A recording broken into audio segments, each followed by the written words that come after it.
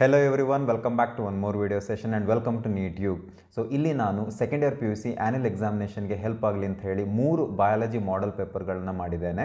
ಸ್ವಲ್ಪ ಮೀಡಿಯಮ್ ಹಾಗೂ ಈಸಿ ಹಾಗೂ ಟಫ್ ಪೇಪರ್ಗಳನ್ನ ಮಾಡಿದ್ದೇನೆ.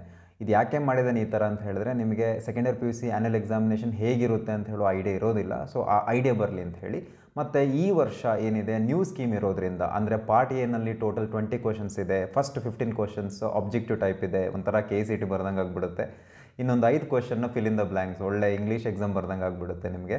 Okay so whatever it is ನಮಗೇನಿದೆ ಅಂತ ಹೇಳಿದ್ರೆ ಇಲ್ಲಿ ಟಾರ್ಗೆಟ್ ಸ್ಕೋರ್ ಜಾಸ್ತಿ ಮಾಡೋದು ಅಷ್ಟೇ ಸೊ ಈ ಒಂದು ವಿಡಿಯೋದಲ್ಲಿ ನಾನು ಒಂದು ಈಸಿ ಪೇಪರ್ನ ತಗೊಂಡು ಅದನ್ನು ಸಾಲ್ವ್ ಮಾಡ್ತಾ ಇದ್ದೇನೆ. ಮುಂದಿನ ವಿಡಿಯೋದಲ್ಲಿ ನಾನು ಮೀಡಿಯಂ ಪೇಪರ್ ಹಾಗೂ ನೆಕ್ಸ್ಟ್ ವಿಡಿಯೋದಲ್ಲಿ ನಾನು ಟಫ್ ಪೇಪರ್ನ ಸಾಲ್ವ್ ಮಾಡ್ತಾ ಇದ್ದೇನೆ.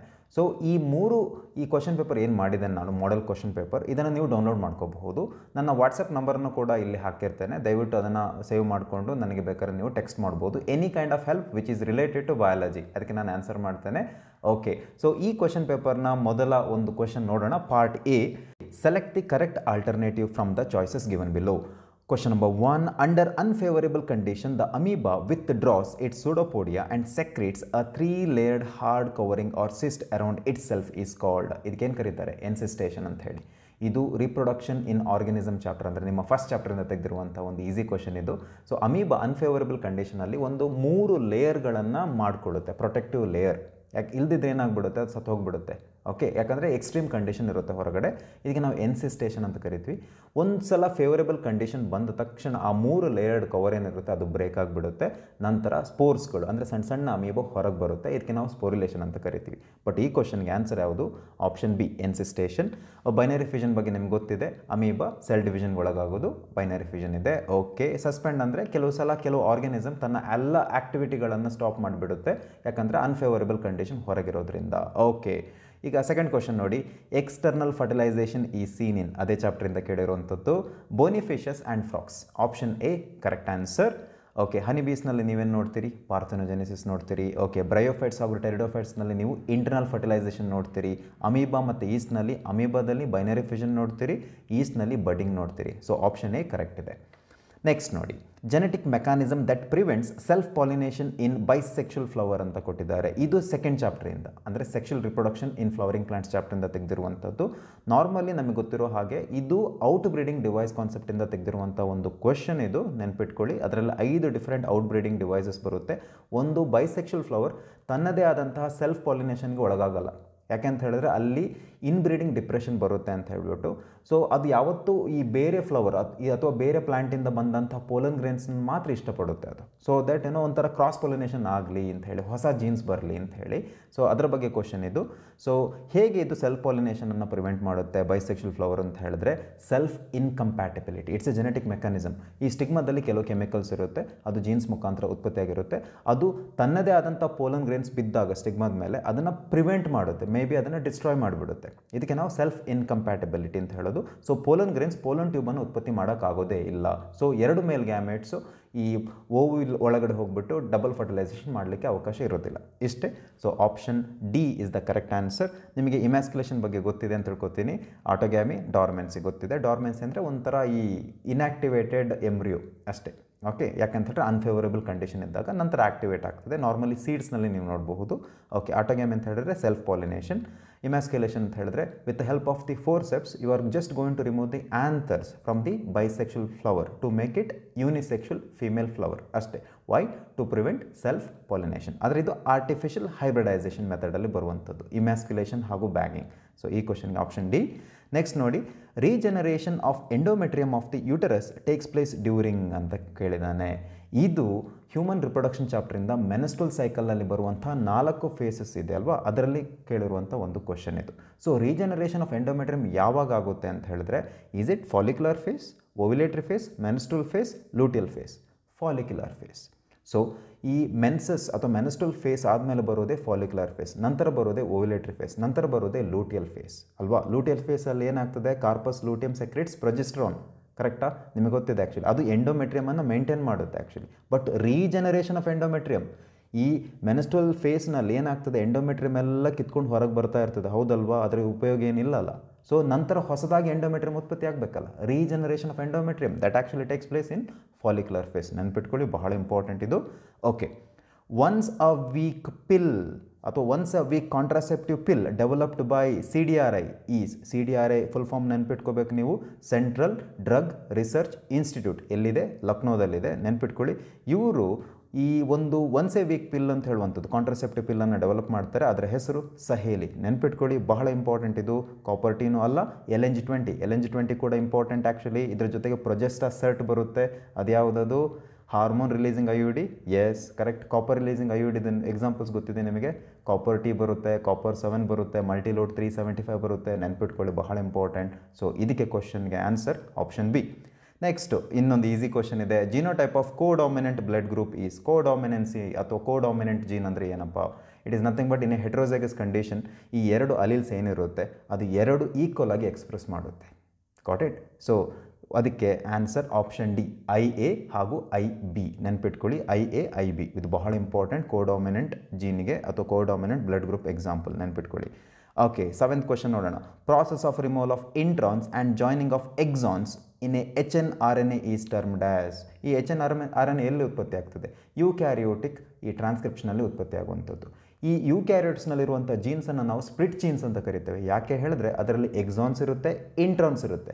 ನಮಗೆ ಬೇಕಾಗಿರೋದು ಎಕ್ಸಾನ್ಸ್ ಇಂಟ್ರಾನ್ಸ್ ಅಲ್ಲ.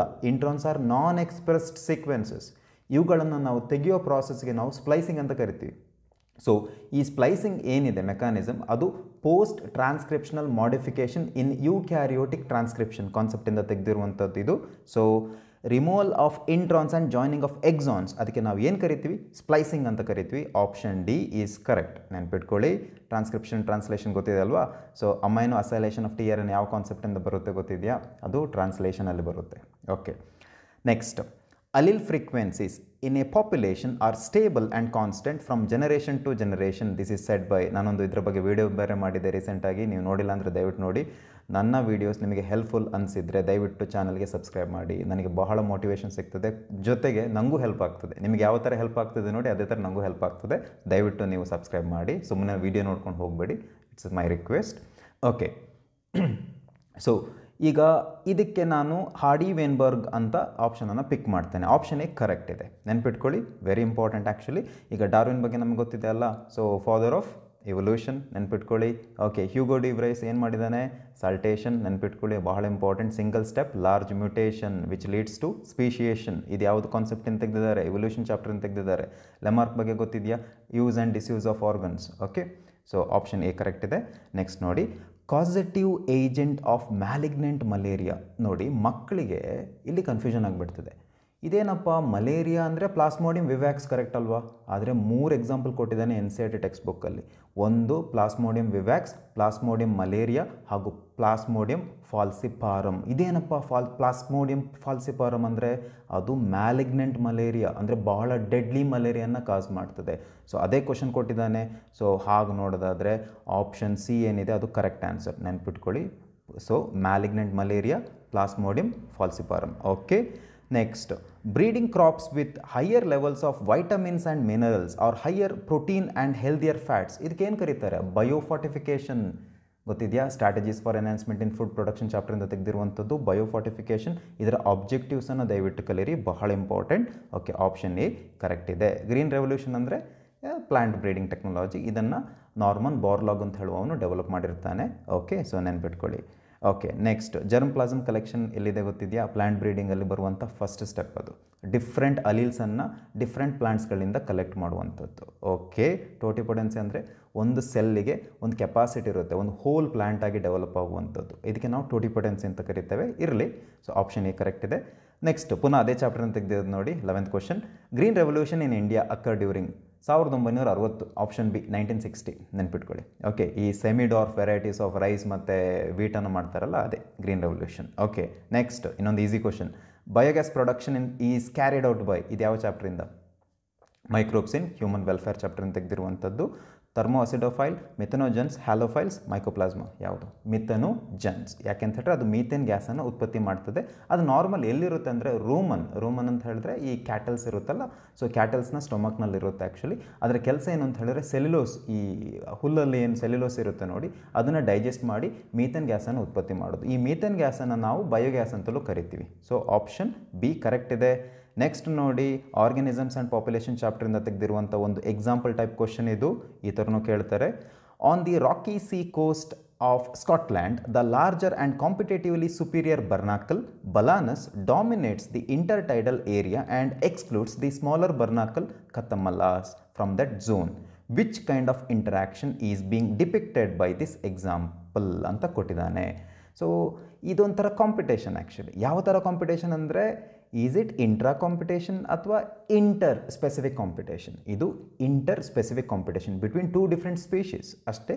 ಸೊ ಆಪ್ಷನ್ ಡಿ ಕರೆಕ್ಟ್ ಇದೆ. ಕಾಂಪಿಟೇಷನ್ ಕಮೆನ್ಸಾಲಿಸಮ್ ಆಗಲಿಕ್ಕೆ ಚಾನ್ಸ್ ಇಲ್ಲ. ಇಲ್ಲಿ ಎರಡು, ಅಂದರೆ ಬಲಾನಸ್ ಆಗಿರ್ಬೋದು, ಕಥಾಮಲಸ್ ಆಗಿರ್ಬೋದು, ಒಂದು ಪರ್ಟಿಕ್ಯುಲರ್ ಏರಿಯಾ ಅಥವಾ ಒಂದು ಪರ್ಟಿಕ್ಯುಲರ್ ಫುಡ್ ಸೋರ್ಸಿಗೆ ಅದು ಡಿಪೆಂಡ್ ಆಗಿರುತ್ತೆ. ಅವರಿಬ್ಬರು ಹೊಡೆದಾಡ್ತಾರೆ. ಕಾಂಪಿಟೇಷನ್ ಆಗ್ತಾ ಇದೆ ಆ್ಯಕ್ಚುಲಿ ನೆನ್ಪಿಟ್ಕೊಳ್ಳಿ. ಆದರೆ ಇಲ್ಲಿ ಸುಪೀರಿಯರ್ ಯಾವುದಿದೆ? ಬಲಾನಸ್ ಇದೆ. ಕಥಾಮಲಾಸ್ ಏನಿದೆ? ಅದು ಇನ್ಫೀರಿಯರ್ ಒನ್ ಇಷ್ಟೇ ವಿಷಯ. ಅರ್ಥ ಆಯಿತಾ? So option D competition correct ಇದೆ. ಪ್ರೆಡೇಷನ್ ಬಗ್ಗೆ ಗೊತ್ತಿದೆ ಅಂತ ತಿಳ್ಕೊತೀನಿ. ಓಕೆ ನೆಕ್ಸ್ಟ್ ನೋಡಿ. Vertical distribution of different species occupying different levels is called ಇದು ಯಾವ ಚಾಪ್ಟ್ರಿಂದ ತೆಗೆದಿರೋದು? ಇಕೋಸಿಸ್ಟಮ್ ಚಾಪ್ಟ್ರಿಂದ ಈ ಇಕೋಸಿಸ್ಟಮ್ ಚಾಪ್ಟ್ರಿಂದ ಒಂದು ಡೆಫಿನೇಷನ್ ಕ್ವಶನ್ಗಳಂತೂ ಖಂಡಿತ ಬರ್ತದೆ. ಫಾರ್ ಎಕ್ಸಾಂಪಲ್ ಸ್ಟ್ರಾಟಿಫಿಕೇಷನ್ ಕೇಳ್ತಾರೆ, ಅದಾದಮೇಲೆ ಫುಡ್ ಚೈನು ಫುಡ್ ವೆಬ್ ಕೇಳ್ತಾರೆ ಸ್ಟ್ಯಾಂಡಿಂಗ್ ಕ್ರಾಪ್ ಕೇಳ್ತಾರೆ ಸ್ಟ್ಯಾಂಡಿಂಗ್ ಸ್ಟೇಟ್ ಕೇಳ್ತಾರೆ ಬಯೋ ಜಿಯೋ ಕೆಮಿಕಲ್ ಸೈಕಲ್ ಅಂದರೆ ನ್ಯೂಟ್ರೆಂಟ್ ಸೈಕಲ್ ಇದರ ಬಗ್ಗೆಲ್ಲ ಡೆಫಿನೇಷನ್ಗಳು ನಿಮ್ಗೆ ಗೊತ್ತಿರಬೇಕಾಗ್ತದೆ. ಅದಕ್ಕಿಂತ ಇಂಪಾರ್ಟೆಂಟ್ ಯಾವುದಿದೆ ಅಂತ ಹೇಳಿದ್ರೆ ಹೈರಾರ್ಕ್ ಹೈಡ್ರಾರ್ಕ್ ಸಕ್ಸೆಷನ್ ಹಾಗೂ ಝೀರಾರ್ಕ್ ಸಕ್ಸೆಷನ್ ಬಹಳ ಇಂಪಾರ್ಟೆಂಟ್. ಅದು ಇಕಲಾಜಿಕಲ್ ಸಕ್ಸೆಷನಲ್ಲಿ ಬರುವಂಥದ್ದು. Primary succession secondary succession name the pioneer species of hydrarch succession ಅಥವಾ name the pioneer species of xerarch succession ಅಂತ ಕೇಳೋ ಚಾನ್ಸ್ ಇದೆ. ದಯವಿಟ್ಟು ನೋಡಿ, ಬಹಳ ಇಂಪಾರ್ಟೆಂಟ್. ಓಕೆ ಸೊ ಇದಕ್ಕೆ answer option A stratification vertical distribution of different species occupying different levels ಅದಕ್ಕೆ ನಾವು ಸ್ಟ್ರಾಟಿಫಿಕೇಶನ್ ಅಂತ ಕರಿತೀವಿ. ಓಕೆ ಸ್ಕ್ರಬ್ಬರ್ ರಿಮೂವ್ಸ್ ಎಷ್ಟು ಈಸಿ ಇದೆ ನೋಡಿ. ಸ್ಕ್ರಬ್ಬರ್ ವರ್ಡು ಕ್ಯಾಪಿಟಲ್ ಎಸ್ಸಿಂದ ಸ್ಟಾರ್ಟ್ ಆಗ್ತಿದೆ ತಾನೆ? ಸೊ ಆನ್ಸರ್ ಏನಿದೆ? ಎಸ್ಸಿಂದಲೇ ಸ್ಟಾರ್ಟ್ ಆಗಬೇಕಾಗ್ತದೆ. ನಾನು ಆ ಥರ ನೆನ್ಪಿಟ್ಕೋತೀನಿ. So option B sulphur dioxide scrubber ಯಾವತ್ತು ರಿಮೂವ್ ಮಾಡೋದು ಸಲ್ಫರ್ ಡೈಆಕ್ಸೈಡನ್ನು ಸೊ ನಾವು ಇಲ್ಲಿ ಮೊದಲ ಹದಿನೈದು ಆಬ್ಜೆಕ್ಟಿವ್ ಟೈಪ್ ಕ್ವಶನ್ಗಳನ್ನು ಸಾಲ್ವ್ ಮಾಡಿದ್ವಿ. ಇದರಲ್ಲಿ ಹದಿಮೂರಂತೂ ಬಹಳ ಈಸಿ ಇದೆ ತಾನೆ. ಒಂದು ಎರಡು ಸ್ವಲ್ಪ ಟ್ರಿಕ್ಕಿ ಇದೆ. ಈ ಥರ ಕ್ವಶನ್ಗಳು ಬಂದರೆ ಇದಕ್ಕೆ ನಾವು ಈಸಿ ಪೇಪರ್ ಅಂತ ಕರೆದು ಬಿಡ್ತೀವಿ. ಗೊತ್ತಾಯ್ತಾ? ಇದು ಈಸಿ ಪೇಪರ್ದು ನಾನು ಮುಂದಿನ ವೀಡಿಯೋದಲ್ಲಿ ಸ್ವಲ್ಪ ಮೀಡಿಯಂ ಪೇಪರ್ನ ಸಾಲ್ವ್ ಮಾಡ್ತಾ ಇದ್ದೇನೆ. ಓಕೆ ನಂತರದ ವೀಡಿಯೋದಲ್ಲಿ ನಾನು ಡಿಫಿಕಲ್ಟ್ ಪೇಪರ್ನ ಸಾಲ್ವ್ ಮಾಡ್ತೇನೆ so please do not miss the series okay next ನೋಡಿ. ಪಾರ್ಟ್ ಎಲ್ಲಿ ಸೆಕೆಂಡ್ ಸೆಕ್ಷನ್ಗೆ ಹೋಗೋಣ. Fill in the blanks with appropriate word ಅಥವಾ words from the from those given in the bracket okay ಐದು ಸ್ಟೇಟ್ಮೆಂಟ್ಸ್ಗಳನ್ನ ಕೊಟ್ಟಿದ್ದಾನೆ ಫಿಲ್ ಇನ್ ದ ಬ್ಲ್ಯಾಂಕ್ಸ್ ಮೇಲ್ಗಡೆ appropriate ವರ್ಡ್ಸ್ಗಳನ್ನ ಕೊಟ್ಟಿದ್ದಾನೆ. ನಾವೀಗ ಪಿಕ್ ಮಾಡಬೇಕು. ಸ್ವಲ್ಪ easy actually the corpus luteum secretes large amounts of dash which is essential for maintenance of endometrium ಬಹಳ ಸಿಂಪಲ್ ಇದೆ ಆ್ಯಕ್ಚುಲಿ ಪ್ರೊಜೆಸ್ಟಿರಾನ್ ಅಲ್ವಾ? ಆ ಹಾರ್ಮೋನನ್ನು ಕಾರ್ಪಸ್ ಲೂಟಿಯಮ್ ಬಿಡುಗಡೆ ಮಾಡುತ್ತೆ. ಅದೇನು ಮಾಡುತ್ತೆ ಅಂತ ಹೇಳಿದ್ರೆ ಎಂಡೋಮೆಟ್ರಿಯಮ್ ಆಫ್ ದಿ ಯುಟರಸನ್ನು ಮೇಂಟೈನ್ ಮಾಡುತ್ತೆ. So we got the answer next statutory ban on dash for sex determination to legally check increasing menace of female foeticides massive child immunisation ಯಾವುದಪ್ಪ? ಅಮ್ನಿಯೋಸೆಂಟಸಿಸ್ ಅಮ್ನಿಯೋಸೆಂಟಸಿಸ್ ಅಂದರೆ ಒಂದು ಈ ಫೀಟಸ್ದು sex determination technique based on the chromosomal pattern present in the amniotic fluid ಎಷ್ಟೇ? So ಗೊತ್ತಾಯ್ತು answer ನಮಗೆ? ಹದಿನೆಂಟು ನೋಡಿ. Dash resistance to yellow mosaic virus and powdery mildew were introduced by mutation so ಇದಕ್ಕೆ correct ಆದಂಥ ಆನ್ಸರ್ ಮೂಂಗ್ ಬೀನ್ ನೆನಪಿದೆ ನಿಮಗೆ? Mutational ಬ್ರೀಡಿಂಗಿಂದ ಕಾನ್ಸೆಪ್ಟಿಂದ ತೆಗೆದಿರುವಂಥದ್ದು. ಇದು ಸೆಕ್ಷ strategies for enhancement in food production ಚಾಪ್ಟರ್ದು okay moong bean correct ಇದೆ. Next dash refers to the number of births during given period in the population that are added to the initial density natality okay ಬಹಳ simple ಇದೆ. Next dash is the natural ageing of lake by nutrient enrichment of its water so ಇದಕ್ಕೆ ಯಾವುದು? Eutrophication so ಮೊದಲ ಇಪ್ಪತ್ತು question easy ಇತ್ತು. So ನಾವು ಇದನ್ನು solve ಮಾಡಿದ್ವಿ. ಈಗ ಪಾರ್ಟ್ ಬಿಗೆ ಹೋಗೋಣ. ಓಕೆ ಡಿಫ್ರೆನ್ಷಿಯೇಟ್ ಬಿಟ್ವೀನ್ ಮೆನಾರ್ಕೆ ಮತ್ತು ಮೆನೋಪಾಸ್ ಇದು ಎರಡು ಸಾವಿರದ ಇಪ್ಪತ್ತೆರಡರಲ್ಲೂ ಕೇಳಿದ್ರು ಆ್ಯಕ್ಚುಲಿ ನಾನು ವ್ಯಾಲ್ಯೂಯೇಷನ್ಗೆ ಹೋಗಿದ್ದೆ.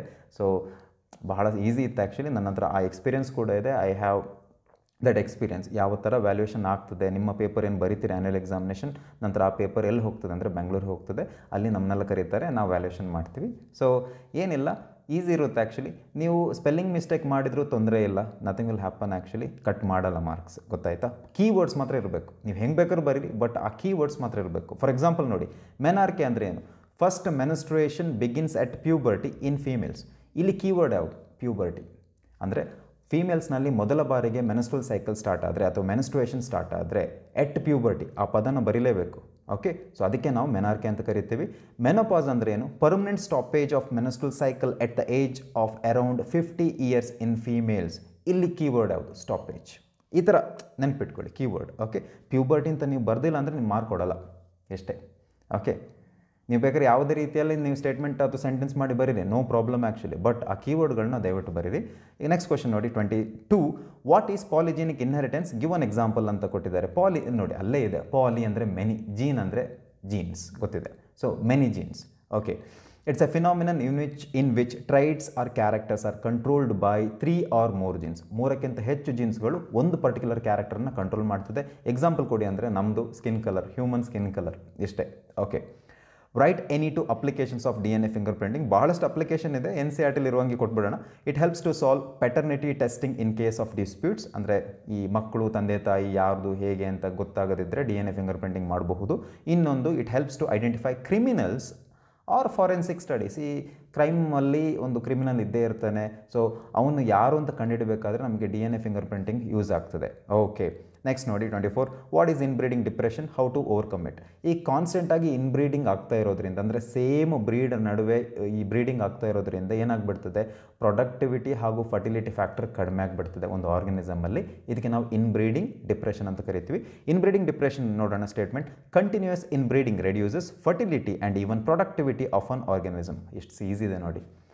ಇನ್ಬ್ರೀಡಿಂಗ್ ಡಿಪ್ರೆಷನನ್ನು ಹೇಗೆ ಓವರ್ಕಮ್ ಮಾಡ್ಬೋದು ಅಂತ ಹೇಳಿದ್ರೆ by outcrossing okay next draw neat label diagram of P B R three twenty two biotechnology ಚಾಪ್ಟರಿಂದ ತೆಗೆದಿರುವಂಥದ್ದು ಪ್ರಿನ್ಸಿಪಲ್ಸ್ ಆ್ಯಂಡ್ ಪ್ರಾಸೆಸಸ್ ಕಾನ್ಸೆಪ್ಟ್ ಇದು okay so P B R three twenty two ನಾನು ಆಗಲೇ ಒಂದು ವೀಡಿಯೋ ಮಾಡಿದ್ದೆ ಆ್ಯಕ್ಚುಲಿ ಲಾಸ್ಟ್ ಇಯರ್ ಯಾವ ರೀತಿಯಲ್ಲಿ ನೀವು P B R three twenty two ಡಯಾಗ್ರಾಮನ್ನು ನೆನ್ಪಿಟ್ಕೋಬೇಕು, ಹಾಗೂ ಹೇಗೆ ಹೇಗೆ ಬಿಡಿಸ್ಬೇಕು ಅಂತೇಳಿ ಟ್ರಿಕಿ ವಿಡಿಯೋ ಅದು, ನೋಡಿಬಿಡಿ ಪ್ಲೇ ಲಿಸ್ಟ್ನಲ್ಲಿ ಸಿಕ್ಬಿಡುತ್ತೆ okay don't miss it next ನೋಡಿ mention the role of cry one A C cry one A B ಸ್ವಲ್ಪ ಕನ್ಫ್ಯೂಷನ್ ಆಗ್ತದೆ ನೋಡಿ.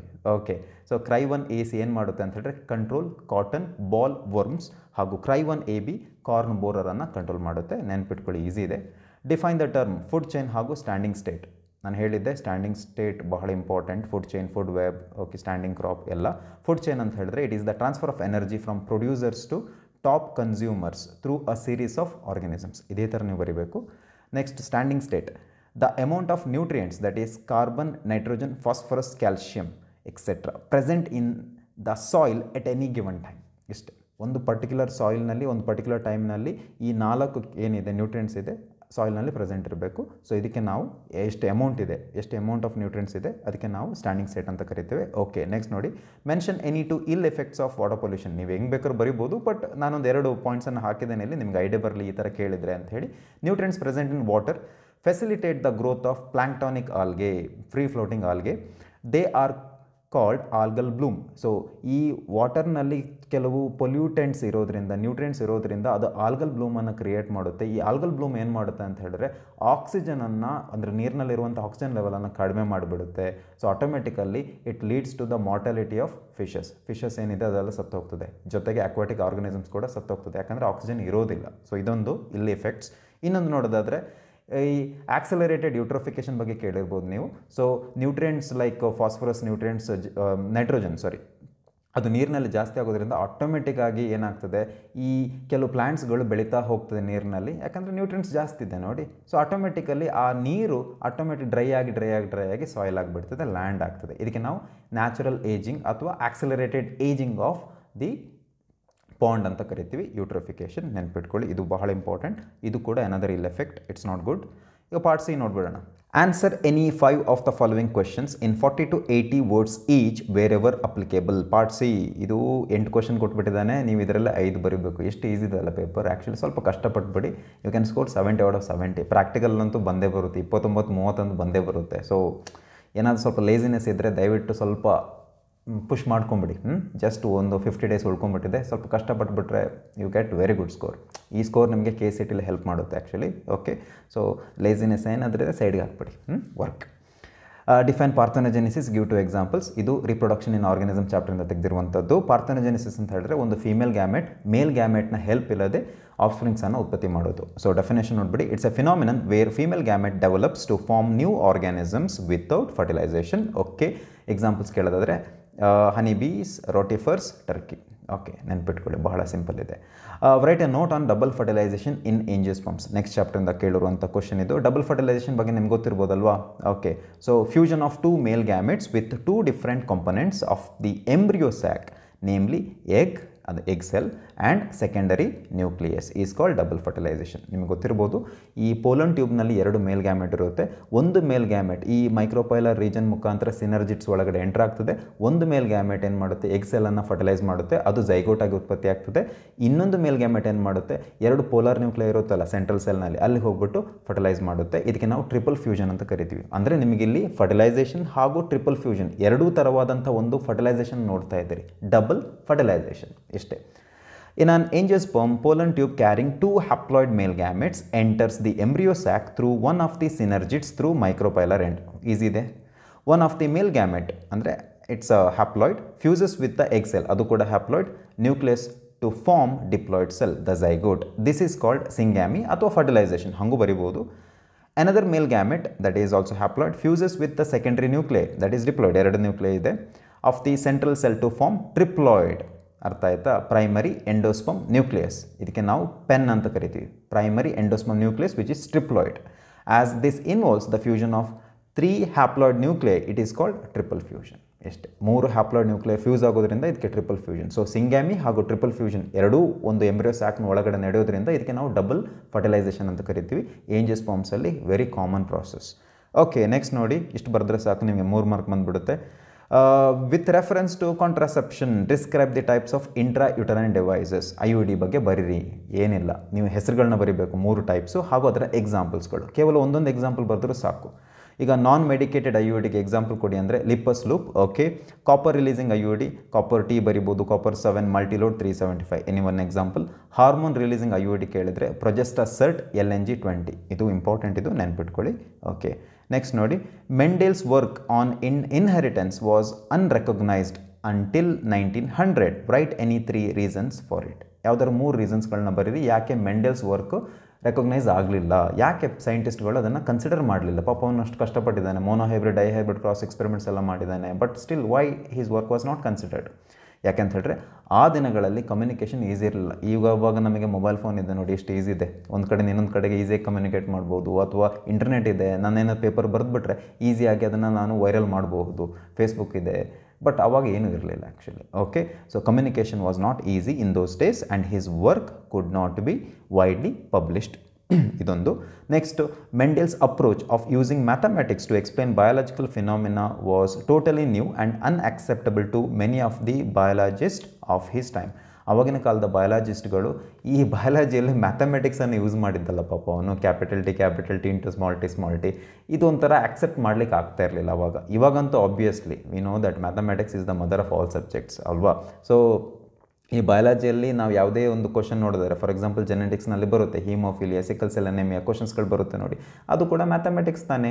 So D N by D T equal to R N ಅಂತ ಕೇಳಿದ್ದೀರಿ ನೀವು. ಸೊ ಆರ್ಗನಿಸಮ್ ಪಾಪ್ಯುಲೇಷನ್ ಚಾಪ್ಟರಲ್ಲಿ ಬರುವಂಥ ಈ ಕೆಲವು ಮೋಡಲ್ಸ್ಗಳು ಓಕೆ ಅಲ್ಲಿ ಸಹ ಮ್ಯಾಥಮೆಟಿಕ್ಸ್ ಇದೆ ಸೊ ಆಬ್ವಿಯಸ್ಲಿ ಈಗಿನ ಬಯಾಲಜಿಸ್ಟ್ಗಳು ಆಕ್ಸೆಪ್ಟ್ ಮಾಡ್ತಾರೆ ಆವಾಗ ಆಕ್ಸೆಪ್ಟ್ ಮಾಡಲಿಲ್ಲ. ಸೊ ಅದಕ್ಕೆ ಅದನ್ನು ಸೈಡಿಗೆ ಹಾಕ್ಬಿಟ್ರು ಪಾಪ ಮೆಂಡೇಲ್ಸ್ ವರ್ಕನ್ನು ನಂತರ Mendel's failed to provide any sort of physical proof for his theory of dominance or existence and biochemistry of factors. ಪಾಪ ಅವನು ಜೀನ್ಸು ಅಥವಾ ಫ್ಯಾಕ್ಟರ್ಸ್ ಏನು ಕರೆದ ಅಥವಾ ಅವನೇನು ಪೇಪರ್ಗಳನ್ನು ಬರೆದ ಅವನೇನು ಎಕ್ಸ್ಪೆರಿಮೆಂಟ್ ಮಾಡ್ದ, ಅದಕ್ಕೆ ಯಾವುದೇ ರೀತಿಯಾದಂಥ ಫಿಸಿಕಲ್ ಪ್ರೂಫನ್ನು ಕೊಡಲಿಕ್ಕಾಗಲಿಲ್ಲ. ಪಾಪ ಅವ್ನು ಹೇಳ್ದೆ ಆ್ಯಕ್ಚುಲಿ ಜೀನ್ಸ್ ಇದೆ ಅಲ್ಲಿಲ್ಸ್ ಇದೆ ಅಂತ ಹೇಳಿ. ತೋರ್ಸಪ್ಪ ಅಲ್ಲಿಲ್ಸ್ ಎಲ್ಲಿದೆ? ಮೈಕ್ರೋಸ್ಕೋಪ್ ಇತ್ತು ಅವಾಗ ಇಲ್ಲ. ಪಾಪನಿಗೆ ಏನು ಮಾಡೋಕ್ಕಾಗಲಿಲ್ಲ. He was helpless okay he couldn't provide any physical proof ಇರಲಿ. ಸೊ ಮೂರು ಪಾಯಿಂಟ್ ಬರೆದ್ಬಿಡಿ ನೆಕ್ಸ್ಟ್ ನೋಡಿ thirty three question right any three salient features of genetic code ನಾನು ಇದನ್ನು ಎಕ್ಸ್ಪ್ಲೇನ್ ಮಾಡಲ್ಲ ಭಾಳ ಈಸಿ ಇದೆ, ನೀವು ಓದ್ಕೋಬೋದು actually okay genetic code is universal ಯಾಕೆ ಅಂತ ಗೊತ್ತಿದೆ, ಅಲ್ಲಿ ಬರ್ತಿದ್ದೀನಿ genetic code is degenerative genetic code is triplet genetic code is unambiguous and specific genetic code is commaless E U G has dual function ಈ last point ಏನಿದೆ, ಎರಡು mark ಹೇಳೋ chances ಇದೆ. Write the functions of A U G ಅಂತ ಕೇಳ್ತಾರೆ. So A U G codon present on M R N A is the initiator codon ಹೌದು. Translation starting ಆಗೋದೇ A U ಜಿಯಿಂದ ಇನ್ನೊಂದು ಕಡೆ it also codes for methionine ನೆನ್ಪಿಟ್ಕೊಳ್ಳಿ. ಇಲ್ಲಿ ಆರು ಪಾಯಿಂಟ್ಸ್ಗಳನ್ನ ಕೊಟ್ಟಿದ್ದೇನೆ ಎನ್ ಸಿ ಆರ್ ಟಿ ಪ್ರಕಾರ. ನೀವು ಎನಿ ತ್ರೀ ಬರೆದ್ರೆ ಆಯ್ತು. ಯಾವುದಪ್ಪ ಈಸಿ ಇದೆ ನೋಡ್ಬಿಟ್ಟು ಬರೀರಿ ಅಷ್ಟೇ. Mention the approaches for the treatment of cancer ನೋಡಿ ಟೂ ತೌಸಂಡ್ ಟ್ವೆಂಟಿ ಟೂನಲ್ಲಿ ಇದೇ ಕ್ವಶನ್ ಕೇಳಿದ್ರು. ಅದಕ್ಕೆ ನಾನು ಹಾಕಿದ್ದು ಯಾಕೆ ಬೇಕು? ನಾನು ಡಿಸ್ಕಸ್ ಮಾಡಬೇಕು ಅಂತೇಳಿ ಹಾಕಿದ್ದೆ ನಾನು. ಇಲ್ಲಿ ನಿಮ್ಮ N C R T text ಬುಕ್ನಲ್ಲಿ ಸರ್ಜರಿ ಕೊಟ್ಟಿದ್ದಾರೆ ರೇಡಿಯೋಥೆರಪಿ ಇಮ್ಯುನೋಥೆರಪಿ ಕೀಮೋಥೆರಪಿ ಕೊಟ್ಟಿದ್ದಾರೆ. ಕಳೆದ ವರ್ಷ ಆ್ಯಕ್ಚುಲಿ ನಮಗೆ ನಾವು ವ್ಯಾಲ್ಯೂಯೇಷನ್ ಹೋದಾಗ ಅಲ್ಲಿ ಕೀಮೋಥೆರಪಿ ಕಾಣಲಿಲ್ಲ. ನನಗೆ ಶಾಕ್ ಆಯಿತು. ಯಾಕಪ್ಪ ಇದು ಕೀಮೋಥೆರಪಿ ಕೊಡಲಿಲ್ಲ ಇಲ್ಲ? ಮಕ್ಕಳು ಬರೆದು ಬಿಟ್ಟಿದ್ದಾರೆ ಓಕೆ ಇಮ್ಯುನೋಥೆರಪಿ ಬರೆದಿದ್ದಾರೆ ಕೀಮೋಥೆರಪಿ ರೇಡಿಯೋಥೆರಪಿ ಬರೆದಿದ್ದಾರೆ ಸರ್ಜರಿ ಬರೆದಿದ್ದಾರೆ. ಪಾಪ ಕೀಮೋಥೆರಪಿ ಯಾರೆಲ್ಲ ಬರೆದಿದ್ದಾರೆ ನೋಡಿ, ಅವರಿಗೆ ಮಾರ್ಕ್ ಕಟ್ ಮಾಡಿಬಿಟ್ಟಿದ್ದಾರೆ. ಅದಿಲ್ಲ ಅಂತೆ. ಅದು ಯಾಕೆ ಏನು ನನಗೂ ಗೊತ್ತಿಲ್ಲ ಆ್ಯಕ್ಚುಲಿ ಬೆಟರ್ ಅವಾಯ್ಡ್ ಕೀಮೋಥೆರಪಿ ದಯವಿಟ್ಟು ಸರ್ಜರಿ ರೇಡಿಯೋಥೆರಪಿ ಇಮ್ಯುನೋಥೆರಪಿ ಈ ಮೂರನ್ನು ಮಾತ್ರ ಬರೀರಿ. ಮೂರು ಮಾರ್ಕಿಗೆ ಮಾತ್ರ ಕೇಳುವಂಥ ಕ್ವಶನ್ ಇದು ಟ್ರೀಟ್ಮೆಂಟ್ ಕೀಮೋಥೆರಪಿ ಏನಾದರೂ ನಿಮ್ಮ ನೋಟ್ಸ್ನಲ್ಲಿ ಬರ್ತಾರೆ ದಯವಿಟ್ಟು ಸ್ಟ್ರೈಕ್ ಅಷ್ಟೇ ಓಕೆ ಸೊ ಇದು ನನ್ನ ಎಕ್ಸ್ಪೀರಿಯನ್ಸ್ ನಾನು ಕೇಳಿದೆ ಸೀನಿಯರ್ ಎಕ್ಸ್ ಬಯಾಲಜಿ ಟೀಚರ್ಸ್ಗಳ ಹತ್ರ ಕೇಳಿದ್ದೆ. ಅವರು ಹೇಳಿದರು ಕೀಮೋಥೆರಪಿ ಹೌದು, ಅದು ಕೂಡ ಒಂದು ಟ್ರೀಟ್ಮೆಂಟ್ ಯಾಕೆ ನಾವು ಕಟ್ ಮಾಡಬೇಕು ಮಾರ್ಕ್ ಅಂತ? ಬಟ್ ಈ ಏನಿದೆ ಕ್ವಶನ್ ಪೇಪರ್ ಸೆಟ್ ಮಾಡಿದವರು, ಒಂದು ಕೀಯನ್ಸ್ ಕೀಸನ್ನು ಕೊಡ್ತಾರೆ. ಆ ಕೀಸ್ನಲ್ಲಿ ಇದ್ದದ್ದು ಏನಿರ್ತದೆ ನೋಡಿ ಅದಕ್ಕೆ ಮಾತ್ರ ನೋಡಿಕೊಂಡೇ ಮಾರ್ಕ್ ಪಾಪ ಕೀಮೋಥೆರಪಿ ಮಕ್ಕಳು ಬರೆದಿದ್ರು, ಅವ್ರಿಗೆ ನಾವು ಕೊಡೋಕೆ ಬರಲಿಲ್ಲ. So that is one thing next ನೋಡಿ what is downstream processing mention any two processes of process of it ಇದು ಕೂಡ ಬಯೋಟೆಕ್ನಾಲಜಿ ಚಾಪ್ಟರ್ದು ಫಸ್ಟ್ ಚಾಪ್ಟರ್ ಇದು. ಡೌನ್ ಸ್ಟ್ರೀಮ್ ಪ್ರಾಸೆಸಿಂಗ್ ಅಂದರೆ it is a process of separation and purification of the recombinant proteins or products okay downstream processing includes the product has to be formulated with suitable preservative after this clinical trials of the products are done before marketing strict quality and control of the products like drugs ಇದನ್ನು ಮಾಡಬೇಕಾಗ್ತದೆ C is nothing but ಈ ನಾವು recombinant D N ಎ ಟೆಕ್ನಾಲಜಿಯಲ್ಲಿ ಏನು ಮಾಡ್ತೀವಿ ಅಂತ ಹೇಳಿದ್ರೆ ಒಂದು ಜೀನ್ ಆಫ್ ಇಂಟ್ರೆಸ್ಟನ್ನು ಒಂದು ಪರ್ಟಿಕ್ಯುಲರ್ ಹೋಸ್ಟ್ ಆರ್ಗನಿಸಮ್ಗೆ ಹಾಕ್ತೀವಿ ಆ ಹೋಸ್ಟ್ ಆರ್ಗನಿಸಮಲ್ಲಿ ಆ ಜೀನ್ ಆಫ್ ಇಂಟ್ರೆಸ್ಟ್ ಏನು ಮಾಡುತ್ತೆ ಪ್ರೋಟೀನನ್ನು ಉತ್ಪತ್ತಿ ಮಾಡುತ್ತೆ ಈ ಪ್ರೋಟೀನಿಗೆ ನಾವೇನು ಕರಿತೀವಿ ರೀಕಾಮಿನೆಂಟ್ ಪ್ರೋಟೀನ್ ಅಂತ ಕರಿತೀವಿ it is nothing but a protein which is synth produced inside a heterologous host okay ಇದಕ್ಕೆ ನಾವು ಆರ್ ಪ್ರೋಟೀನ್ ಅಥವಾ ರಿಕಾಮಿನೆಂಟ್ ಪ್ರೋಟೀನ್ ಅಂತ ಕರಿತೀವಿ. ಇದನ್ನು ನಾವು ಹೊರಗೆ ತೆಗೆಯೋದು, ಆ ಹೋಸ್ಟ್ ಆರ್ಗನಿಸಮ್ದು ಹೊರಗೆ ತೆಗೆಯೋದು, ನಂತರ ಆ ರೀಕಾಂಬಿನೆಂಟ್ ಪ್ರೋಟೀನಲ್ಲಿ ಕೆಲವು ಇಂಪ್ಯೂರಿಟೀಸ್ಗಳಿರುತ್ತೆ ಅದನ್ನು ಸಪ್ರೇಟ್ ಮಾಡೋದು ಇದರಿಂದ. ಆರ್ ಪ್ರೋಟೀನನ್ನು ಇಂಪ್ಯೂರಿಟೀಸ್ಗಳಿಂದ ಸಪ್ರೇಟ್ ಮಾಡೋದಕ್ಕೆ ನಾವು ಡೌನ್ ಸ್ಟ್ರೀಮ್ ಪ್ರಾಸೆಸಿಂಗ್ ಅಂತ ಕರಿತೀವಿ. ಸೊ ಇಲ್ಲಿ ಕೆಲವು ಸ್ಟೆಪ್ಸ್ಗಳಿದೆ ಫಸ್ಟ್ ಏನು ಮಾಡಬೇಕು ಅಂತ ಹೇಳಿದ್ರೆ ಒಂದು ಈ ಪ್ರಿಸರ್ವೇಟಿವ್ಗಳನ್ನು ಯೂಸ್ ಮಾಡಬೇಕಾಗ್ತದೆ. ಯಾಕಂದರೆ ಆರ್ ಪ್ರೋಟೀನ್ ಹಾಳಾಗುವ ಚಾನ್ಸಸ್ ಇದೆ. ನಂತರ ಅದನ್ನು ನೀವು ಮಾರ್ಕೆಟಿಂಗ್ ಮಾಡೋಕ್ಕಿಂತ ಮುಂಚೆ ಅಥವಾ ನಾವು ಮನುಷ್ಯರು ಯೂಸ್ ಮಾಡೋಕ್ಕಿಂತ ಮುಂಚೆ ಕ್ಲಿನಿಕಲ್ ಟ್ರಯಲ್ಸ್ ಆಗಬೇಕು. ಹೆಚ್ಚು ಕಮ್ಮಿ ಆಗಿಬಿಟ್ರೆ ಗೊತ್ತಿಲ್ಲಲ್ಲ, ಅದೇನಾದರೂ ಡಿಫ್ರೆಂಟ್ ಡಿಸೀಸನ್ನು ಕಾಸ್ ಮಾಡಿಬಿಟ್ರೆ ಸೊ ಕ್ಲಿನಿಕಲ್ ಟ್ರಯಲ್ಸ್ ಆಗಬೇಕು. ನಂತರ ಏನಿದೆ, ಈ ಸ್ಟ್ರಿಕ್ಟ್ ಕ್ವಾಲಿಟಿ ಕಂಟ್ರೋಲ್ ಆಗಬೇಕಾಗ್ತದೆ. ಅದು ಎಷ್ಟು ದಿನ what is the expiry date ಹಾಗೆ ಸೊ ಅದು ಎಷ್ಟು ದಿನ ಬರುತ್ತೆ, ಇದರ ಬಗ್ಗೆ ಒಂದು ಕ್ವಾಲಿಟಿ ಕಂಟ್ರೋಲ್ ಆಗಬೇಕಾಗ್ತದೆ. ಸೊ ಇಷ್ಟೇ ವಿಷಯ. ನೆಕ್ಸ್ಟ್ ನೋಡಿ, ಇದೊಂದು ಕಾಮನ್ ಕ್ವಶನ್ ಇದು. ಸೊ ಏನಿದೆ ಅಂತ ಹೇಳಿದ್ರೆ give the schematic representation of an ideal pyramid of energy ಕೆಲವು ಸಲ ಐಡಿಯಲ್ ಪಿರಮಿಡ್ ಆಫ್ ಬಯೋಮಾಸನ್ನು ಕೇಳ್ತಾರೆ ಐಡಿಯಲ್ ಪಿರಮಿಡ್ ಆಫ್ ನಂಬರು ಕೇಳ್ತಾರೆ. ಈ ಮೂರನ್ನು ಕಲ್ತ್ಕೊಳ್ಳಿ, ಖಂಡಿತ ಒಂದು ಕ್ವಶನ್ ಬಂದೇ ಬರುತ್ತೆ. ಮತ್ತು ಇನ್ನೊಂದು ಫಾಸ್ಫರಸ್ ಸೈಕಲ್ ಈ ಚಾಪ್ಟ್ರಿಂದ ಈ ನಾಲ್ಕು ಸ್ಕಿಮ್ಯಾಟಿಕ್ ರೆಪ್ರೆಸೆಂಟೇಷನ್ ಕಲಿ, ಕಲೀರಿ, ಮೂರು ಮಾರ್ಕ್ ಪಕ್ಕ ಪಾಕೆಟಲ್ಲಿದೆ ಹ್ಞೂ ಓಕೆ ಇಲ್ಲಿ ಕೊಟ್ಟಿದ್ದೀನಿ ಈಸಿ ಇದೆ ನೀವು ನೋಡ್ಕೋಬಹುದು. ಸೊ ದ್ಯಾಟ್ಸ್ ಇಟ್ ಸೊ ಅಲ್ಲಿಗೇನಾಯಿತು ನಮ್ಮದು ಪಾರ್ಟ್ ಸಿ ಮುಗೀತಲ್ವಾ? ಎಸ್ ಮೂವತ್ತಾರು ಕ್ವಶನ್ ಆಯಿತು. ಈಗ ಪಾರ್ಟ್ ಡಿ ನೋಡ್ಬಿಡೋಣ. Answer any three of the following in two hundred to two fifty wherever applicable okay so ಇಲ್ಲಿ ನಮ್, ನಿಮಗೆ ಟೋಟಲ್ ಆರು ಕ್ವಶನ್ ಕೊಟ್ಟಿದ್ದಾನೆ ಆ ಕ್ವಶನ್ಸ್ಗಳನ್ನು ಕೊಟ್ಟಿದ್ದಾನೆ. ಅದರಲ್ಲಿ ನೀವು ಕೇವಲ ಮೂರನ್ನು ಮಾತ್ರ ಬರೀಬೇಕು okay so fifty percentage so ಒಂಥರ ನೀವು ಲಕ್ಕಿ ಈ ವರ್ಷ. Define pollination explain the types of pollination why cleistogamous flowers produce assured seed set ಇದನ್ನು ಎಕ್ಸ್ಪ್ಲೇನ್ ಮಾಡಲ್ಲ. ಪಾಲಿನೇಷನ್ ಅಂದರೆ ಗೊತ್ತಿದೆ ನಿಮಗೆ. Okay so explain the types of pollination ಕೇಳಿದ್ರೆ ಆಟೋಗ್ಯಾಮಿ, ಗೀಟಿನಗ್ಯಾಮಿ, ಝೀನಗ್ಯಾಮಿ ಇದರ ಬಗ್ಗೆ ಬರೀಬೇಕು. ಜೊತೆಗೆ ಕ್ಲಿಸ್ಟೋಗ್ಯಾಮಸ್ ಫ್ಲವರ್ಸು ಹಾಗೂ ಇನ್ನೊಂದು ಚಾಸ್ಮೋಗ್ಯಾಮಸ್ ಫ್ಲವರ್ ಬಗ್ಗೆ ನೀವೊಂದು ಡಿಫ್ರೆನ್ಸ್ ಮಾಡಿ ಬರೀಬೇಕು. ಕೊನೆಗೊಂದು ಕ್ವಶನ್ ಕೇಳಿದ್ದಾನೆ. ಇಲ್ಲೇ ಮಕ್ಕಳು ತಪ್ಪು ಮಾಡೋದು. ಈ, ಆ ಗಡಿ ಬಿಡಿ. ಅರ್ಜೆಂಟಲ್ಲಿ ಏನು ಮಾಡಿಬಿಡ್ತಾರೆ? ಕೊನೆಗೊಂದು ಕ್ವಶನ್ ಆ್ಯಡ್ ಮಾಡಿದ್ದಾನೆ. ಅದು ನೋಡೋಕ್ಕೆ ಹೋಗಲ್ಲ. ಈ ಮಾರ್ಕ್ ಡಿಸ್ಟ್ರಿಬ್ಯೂಷನ್ ನೋಡಿ. ಡಿಫೈನ್ ಪಾಲಿನೇಷನ್ ಅಂದರೆ ಪಾಲಿನೇಷನ್ ಡೆಫಿನೇಷನ್ ಒನ್ ಮಾರ್ಕ್ ಕೊಟ್ಟಿದ್ದಾನೆ. ನೆಕ್ಸ್ಟು ಟೈಪ್ಸ್ ಆಫ್ ಪಾಲಿನೇಷನ್ ಮೂರು ಟೈಪ್ಸ್ ಇತ್ತಲ್ಲ, ಅದನ್ನು ಬರಿಬೇಕು ನೀವು. ಅದಕ್ಕೆ ತ್ರೀ ಮಾರ್ಕ್ಸ್ ಎಷ್ಟಾಯಿತು? ಒನ್ ಪ್ಲಸ್ ತ್ರೀ ಫೋರ್ ಆಯಿತು. ಲಾಸ್ಟ್ ಒಂದು ಕ್ವಶನ್ ಆ್ಯಡ್ ಮಾಡಿದ್ದಾನೆ one ಮಾರ್ಕಿಗೆ why cleistogamous flowers produce assured seed set cleistogamous flowers ಅಂದರೆ ಈಗ ಆಕ್ಸಲೆಸ್ ಕಮಲಿನ ಮತ್ತು ವಯೋಲ ಅಂತ ಹೇಳುವ ಕೆಲವು ಪ್ಲಾಂಟ್ಗಳಲ್ಲಿ ಎರಡು ಥರ ಫ್ಲವರ್ಸ್ ಇರುತ್ತೆ. ಒಂದು ಕಡೆ ಚಾಸ್ಮೋಗ್ಯಾಮಸ್ ಚಾಸ್ಮೋ ಅಂದರೆ ಓಪನ್ ಇರುವಂಥ ಫ್ಲವರ್ಸು ಇನ್ನೊಂದು ಕಡೆ ಕ್ಲಿಸ್ಟೋಗ್ಯಾಮಸ್ ಫ್ಲವರ್ಸ್ ಕ್ಲೋಸ್ ಇರುತ್ತೆ ಆ್ಯಕ್ಚುಲಿ ಅಷ್ಟೇ. ಸೊ ಕ್ಲೋಸ್ ಇರುವಂಥ ಫ್ಲವರ್ಸ್ನಲ್ಲಿ ಈ ಸ್ಟಿಗ್ಮಾ ಹಾಗೂ ಆ್ಯಂಥರ್ ಏನಿದೆ ಎರಡೂ ಇರುತ್ತೆ. Because it's a bisexual flower ಹತ್ತಿರ ಇರುತ್ತೆ. ಸೊ ಆಬ್ವಿಯಸ್ಲಿ ಪಾಲಿನೇಷನ್ ಆಗಲೇಬೇಕು. ಆಟೋಗ್ಯಾಮಿ ಆಗಲೇಬೇಕಾಗ್ತದೆ. ಒಂದು. ಮತ್ತು ಇನ್ನೊಂದು ಏನಿದೆ ಅಂತ ಹೇಳಿದ್ರೆ, ಇದರಲ್ಲಿ ಪಾಲಿನೇಷನ್ ಆದರೆ ನಿಮಗೆ ಒಂದು ಎಂಬ್ರಿಯೋ ಉತ್ಪತ್ತಿ ಆಗೇ ಆಗುತ್ತೆ. Embryo is nothing but seed seed ಅಂತೂ ಉತ್ಪತ್ತಿ ಆಗಲೇಬೇಕು. That's it so cleistogamous flowers flowers are invariably autogamous okay so ಇದನ್ನ ನೆನ್ಪಿಟ್ಕೋಬೇಕು. ಬಹಳ ಇಂಪಾರ್ಟೆಂಟ್ ಕೂಡ. ಹೌದು. ಸೊ ನೋಡು, ಲಾ, ನೋಡಿ ಇಲ್ಲಿ ಲಾಸ್ಟಲ್ಲಿ ಹಾಕ್ಬಿಟ್ಟಿದ್ದೀನಿ. Cleistogamous flowers are close flowers where anther and stigma lie close to each other and there is no chance of cross cross pollination ಇದನ್ನು ಮರ್ತೋದೆ. ಕ್ಲೋಸ್ ಇರೋದ್ರಿಂದ ಹೊರಗಿಂದ ಯಾವುದೇ ಆಂಥರ್ ಅಥವಾ ಪೋಲನ್ ಗ್ರೇನ್ಸ್ ಫಾಲ್ ಆಗಲಿಕ್ಕೆ ಚಾನ್ಸೇ ಇಲ್ಲ. ಒಳಗೆ ಹೋಗ್ಲಿಕ್ಕೆ ಚಾನ್ಸೇ ಇಲ್ಲ. Okay so that's it next compulsory question from human reproduction ಒಂದು ಸ್ಕಿಲ್ ಬೇಸ್ಡ್ ಕ್ವಶನ್ ಕೊಡಲೇಬೇಕು ಅಂತ ಹೇಳ್ಬಿಟ್ಟಿದ್ದಾರೆ. ದಯವಿಟ್ಟು ಡಯಾಗ್ರಾಮ್ಸ್ಗಳನ್ನ ಕಲೀರಿ. ಯಾವುದೆಲ್ಲ ಡಯಾಗ್ರಾಮ್ಸ್ ಇದೆ ಟೋಟಲ್ ಆಗಿ? Male reproductive system female reproductive system sperm diagram ಮತ್ತು ಮೆಮರಿ ಗ್ಲ್ಯಾಂಡ್ ಕರೆಕ್ಟಾಗಿ ಕಲ್ತ್ಬಿಡಿ, ಐದು ಮಾರ್ಕ್ ಪಾಕೆಟಲ್ಲಿ ಬಂದುಬಿಡುತ್ತೆ. ಓಕೆ ಸೊ ದ್ಯಾಟ್ಸ್ ಇಟ್ ಎಷ್ಟು ಲೇಬಲಿಂಗ್ ಇರಬೇಕು? ಹತ್ತು ಲೇಬಲಿಂಗ್ ಇರಲೇಬೇಕು. ಮಿನಿಮಮ್ ಐದು ಮಾರ್ಕ್ಸ್ ಅಂದರೆ ಹತ್ತು ಲೇಬಲಿಂಗ್ ಇರಬೇಕು. ಪ್ರತಿ ಲೇಬಲಿಂಗಿಗೆ ಅರ್ಧ ಮಾರ್ಕ್ ಓಕೆ ರಿಪೀಟ್ ಇರಬಾರ್ದು ಅದರಲ್ಲಿ. ಓಕೆ ಫೈನ್ ನೆಕ್ಸ್ಟ್ ನೋಡಿ. State law of independent assortment explain Mendel's two gene inheritance with a schematic representation. ಇದು ಕೂಡ ಈಸಿ ಇದೆ. Principles of inheritance and variation ಚಾಪ್ಟರಿಂದ ತೆಗೆದಿರುವಂಥದ್ದು ಸೊ ಇಲ್ಲಿ ಮೆಂಡೇಲ್ಸ್ದು ಫಸ್ಟ್ ಲಾ ಮತ್ತು ಸೆಕೆಂಡ್ ಲಾದ್ ಏನಿದೆ? ಸೆಕೆಂಡ್ ಅಲ್ಲ ಸಾರಿ ಥರ್ಡ್ ಲಾದ್ ಏನಿದೆ? ಅದು ಕೇಳೋ ಚಾನ್ಸಸ್ ಬಹಳ ಇದೆ. ಜೊತೆಗೆ ಇನ್ಕಂಪ್ಲೀಟ್ ಡಾಮಿನೆನ್ಸ್ ಐದು ಮಾರ್ಕಿಗೆ ಕೇಳೋ ಚಾನ್ಸ್ ಇದೆ. ಸೊ ಮೊನೋಹೈಬ್ರಿಡ್ ಡೈಹೈಬ್ರಿಡ್ ಹಾಗೂ ಇನ್ಕಂಪ್ಲೀಟ್ ಡಾಮಿನೆನ್ಸ್ ಪಕ್ಕ ಕ್ವಶನ್ ಐದು ಮಾರ್ಕಿಗೆ ದಯವಿಟ್ಟು ಕರೆಕ್ಟಾಗಿ ಕಲರಿ. ಸ್ಟೆಪ್ಸ್ ಒಂದು ಚೂರು ಹೆಚ್ಚು ಕಮ್ಮಿ ಆಗಬಾರ್ದು. ಎಕ್ಸ್ಪ್ಲನೇಷನ್ ಬರೆದಿದ್ರು ಪರವಾಗಿಲ್ಲ. ಸ್ಕಿಮ್ಯಾಟಿಕ್ ಬರೆದ್ಬಿಡಿ ಅಟ್ಲೀಸ್ಟ್ ಮೂರು ಮಾರ್ಕ್ ಬಂದ್ಬಿಡುತ್ತೆ ಸ್ಕಿಮ್ಯಾಟಿಕ್ ರೆಪ್ರೆಸೆಂಟೇಷನ್ಗೆ ಕೆಲವು ಸಲ ಏನು ಮಾಡ್ತಾರೆ? ಎಕ್ಸ್ಪ್ಲನೇಷನ್ನೇ ಕೇಳೋದಿಲ್ಲ. ಡೈರೆಕ್ಟಾಗಿ you the schematic representation of incomplete dominance ಅಥವಾ ಟೂ ಜಿನ್ ಇನ್ಹೆರಿಟೆನ್ಸ್ ಅಥವಾ ಒನ್ ಜಿನ್ ಇನ್ಹೆರಿಟೆನ್ಸ್ ಅಂತ ಕೇಳ್ಬಿಡ್ತಾರೆ. ಈಸಿ ಇದೆ. Okay so Mendel's law of independent assortment definition statement ಕೊಟ್ಟಿದ್ದೀನಿ ಇಲ್ಲಿ. ಮತ್ತು ನೀವು ಯಾವ ರೀತಿ ಬರಿಬೇಕು ಅದನ್ನು ಅಂತ ಹೇಳಿ ಸಹ ಕೊಟ್ಟಿದ್ದೀನಿ. ದಯವಿಟ್ಟು ನೋಡ್ಕೊಳ್ಳಿ. ಓಕೆ ಸೊ ಸ್ಕಿಮ್ಯಾಟಿಕ್ ರೆಪ್ರೆಸೆಂಟೇಷನ್ ನಾನೇ ಮಾಡಿರೋದು ಇದೇ ಥರ ಹೋಗ್ಬೇಕು ಆ್ಯಕ್ಚುಲಿ ಯಾವುದೇ ರೀತಿಯಾಗಿ ಕನ್ಫ್ಯೂಷನ್ ಬೇಡ. ಸೊ ಇಲ್ಲಿ ನಾನು ಸ್ವಲ್ಪ ಈ ಬಾಕ್ಸಸ್ ಎಲ್ಲ ಹಾಕಿದ್ದೀನಿ ಆ್ಯಕ್ಚುಲಿ ಮೇಲ್ ಮತ್ತು ಫೀಮೇಲನ್ನು ರೆಪ್ರೆಸೆಂಟ್ ಮಾಡಲಿಕ್ಕೆ ಅದರ ಅವಶ್ಯಕತೆ ಇಲ್ಲ ಓಕೆ ಸ್ಟೆಪ್ಸ್ ಕರೆಕ್ಟ್ ಇರಬೇಕು. P generation gametes F one generation gametes ಮತ್ತು ಸೆಲ್ಫಿಂಗು ಇದೆಲ್ಲ ಬರೀಬೇಕು.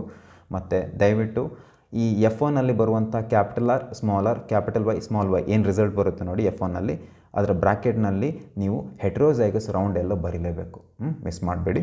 ಮತ್ತು ಇನ್ನೊಂದು phenotypic ratio, genotypic ratio compulsory. ಅದಕ್ಕೆ ಒಂದು, ಮತ್ತು ಒಂದು ಮಾರ್ಕ್ ಇದೆ. ಹ್ಞೂ ಫಿನೋಟೈಪಿಕ್ ರೇಷಿಯೋ ಬರೋಕ್ಕೆ ಒನ್ ಮಾರ್ಕ್ ಜಿನೋಟೈಪಿಕ್ ರೇಷಿಯೋಗೆ ಒನ್ ಮಾರ್ಕ್ ಓಕೆ ಕರೆಕ್ಟಾಗಿ ಕಲ್ತ್ಕೊಳ್ಳಿ.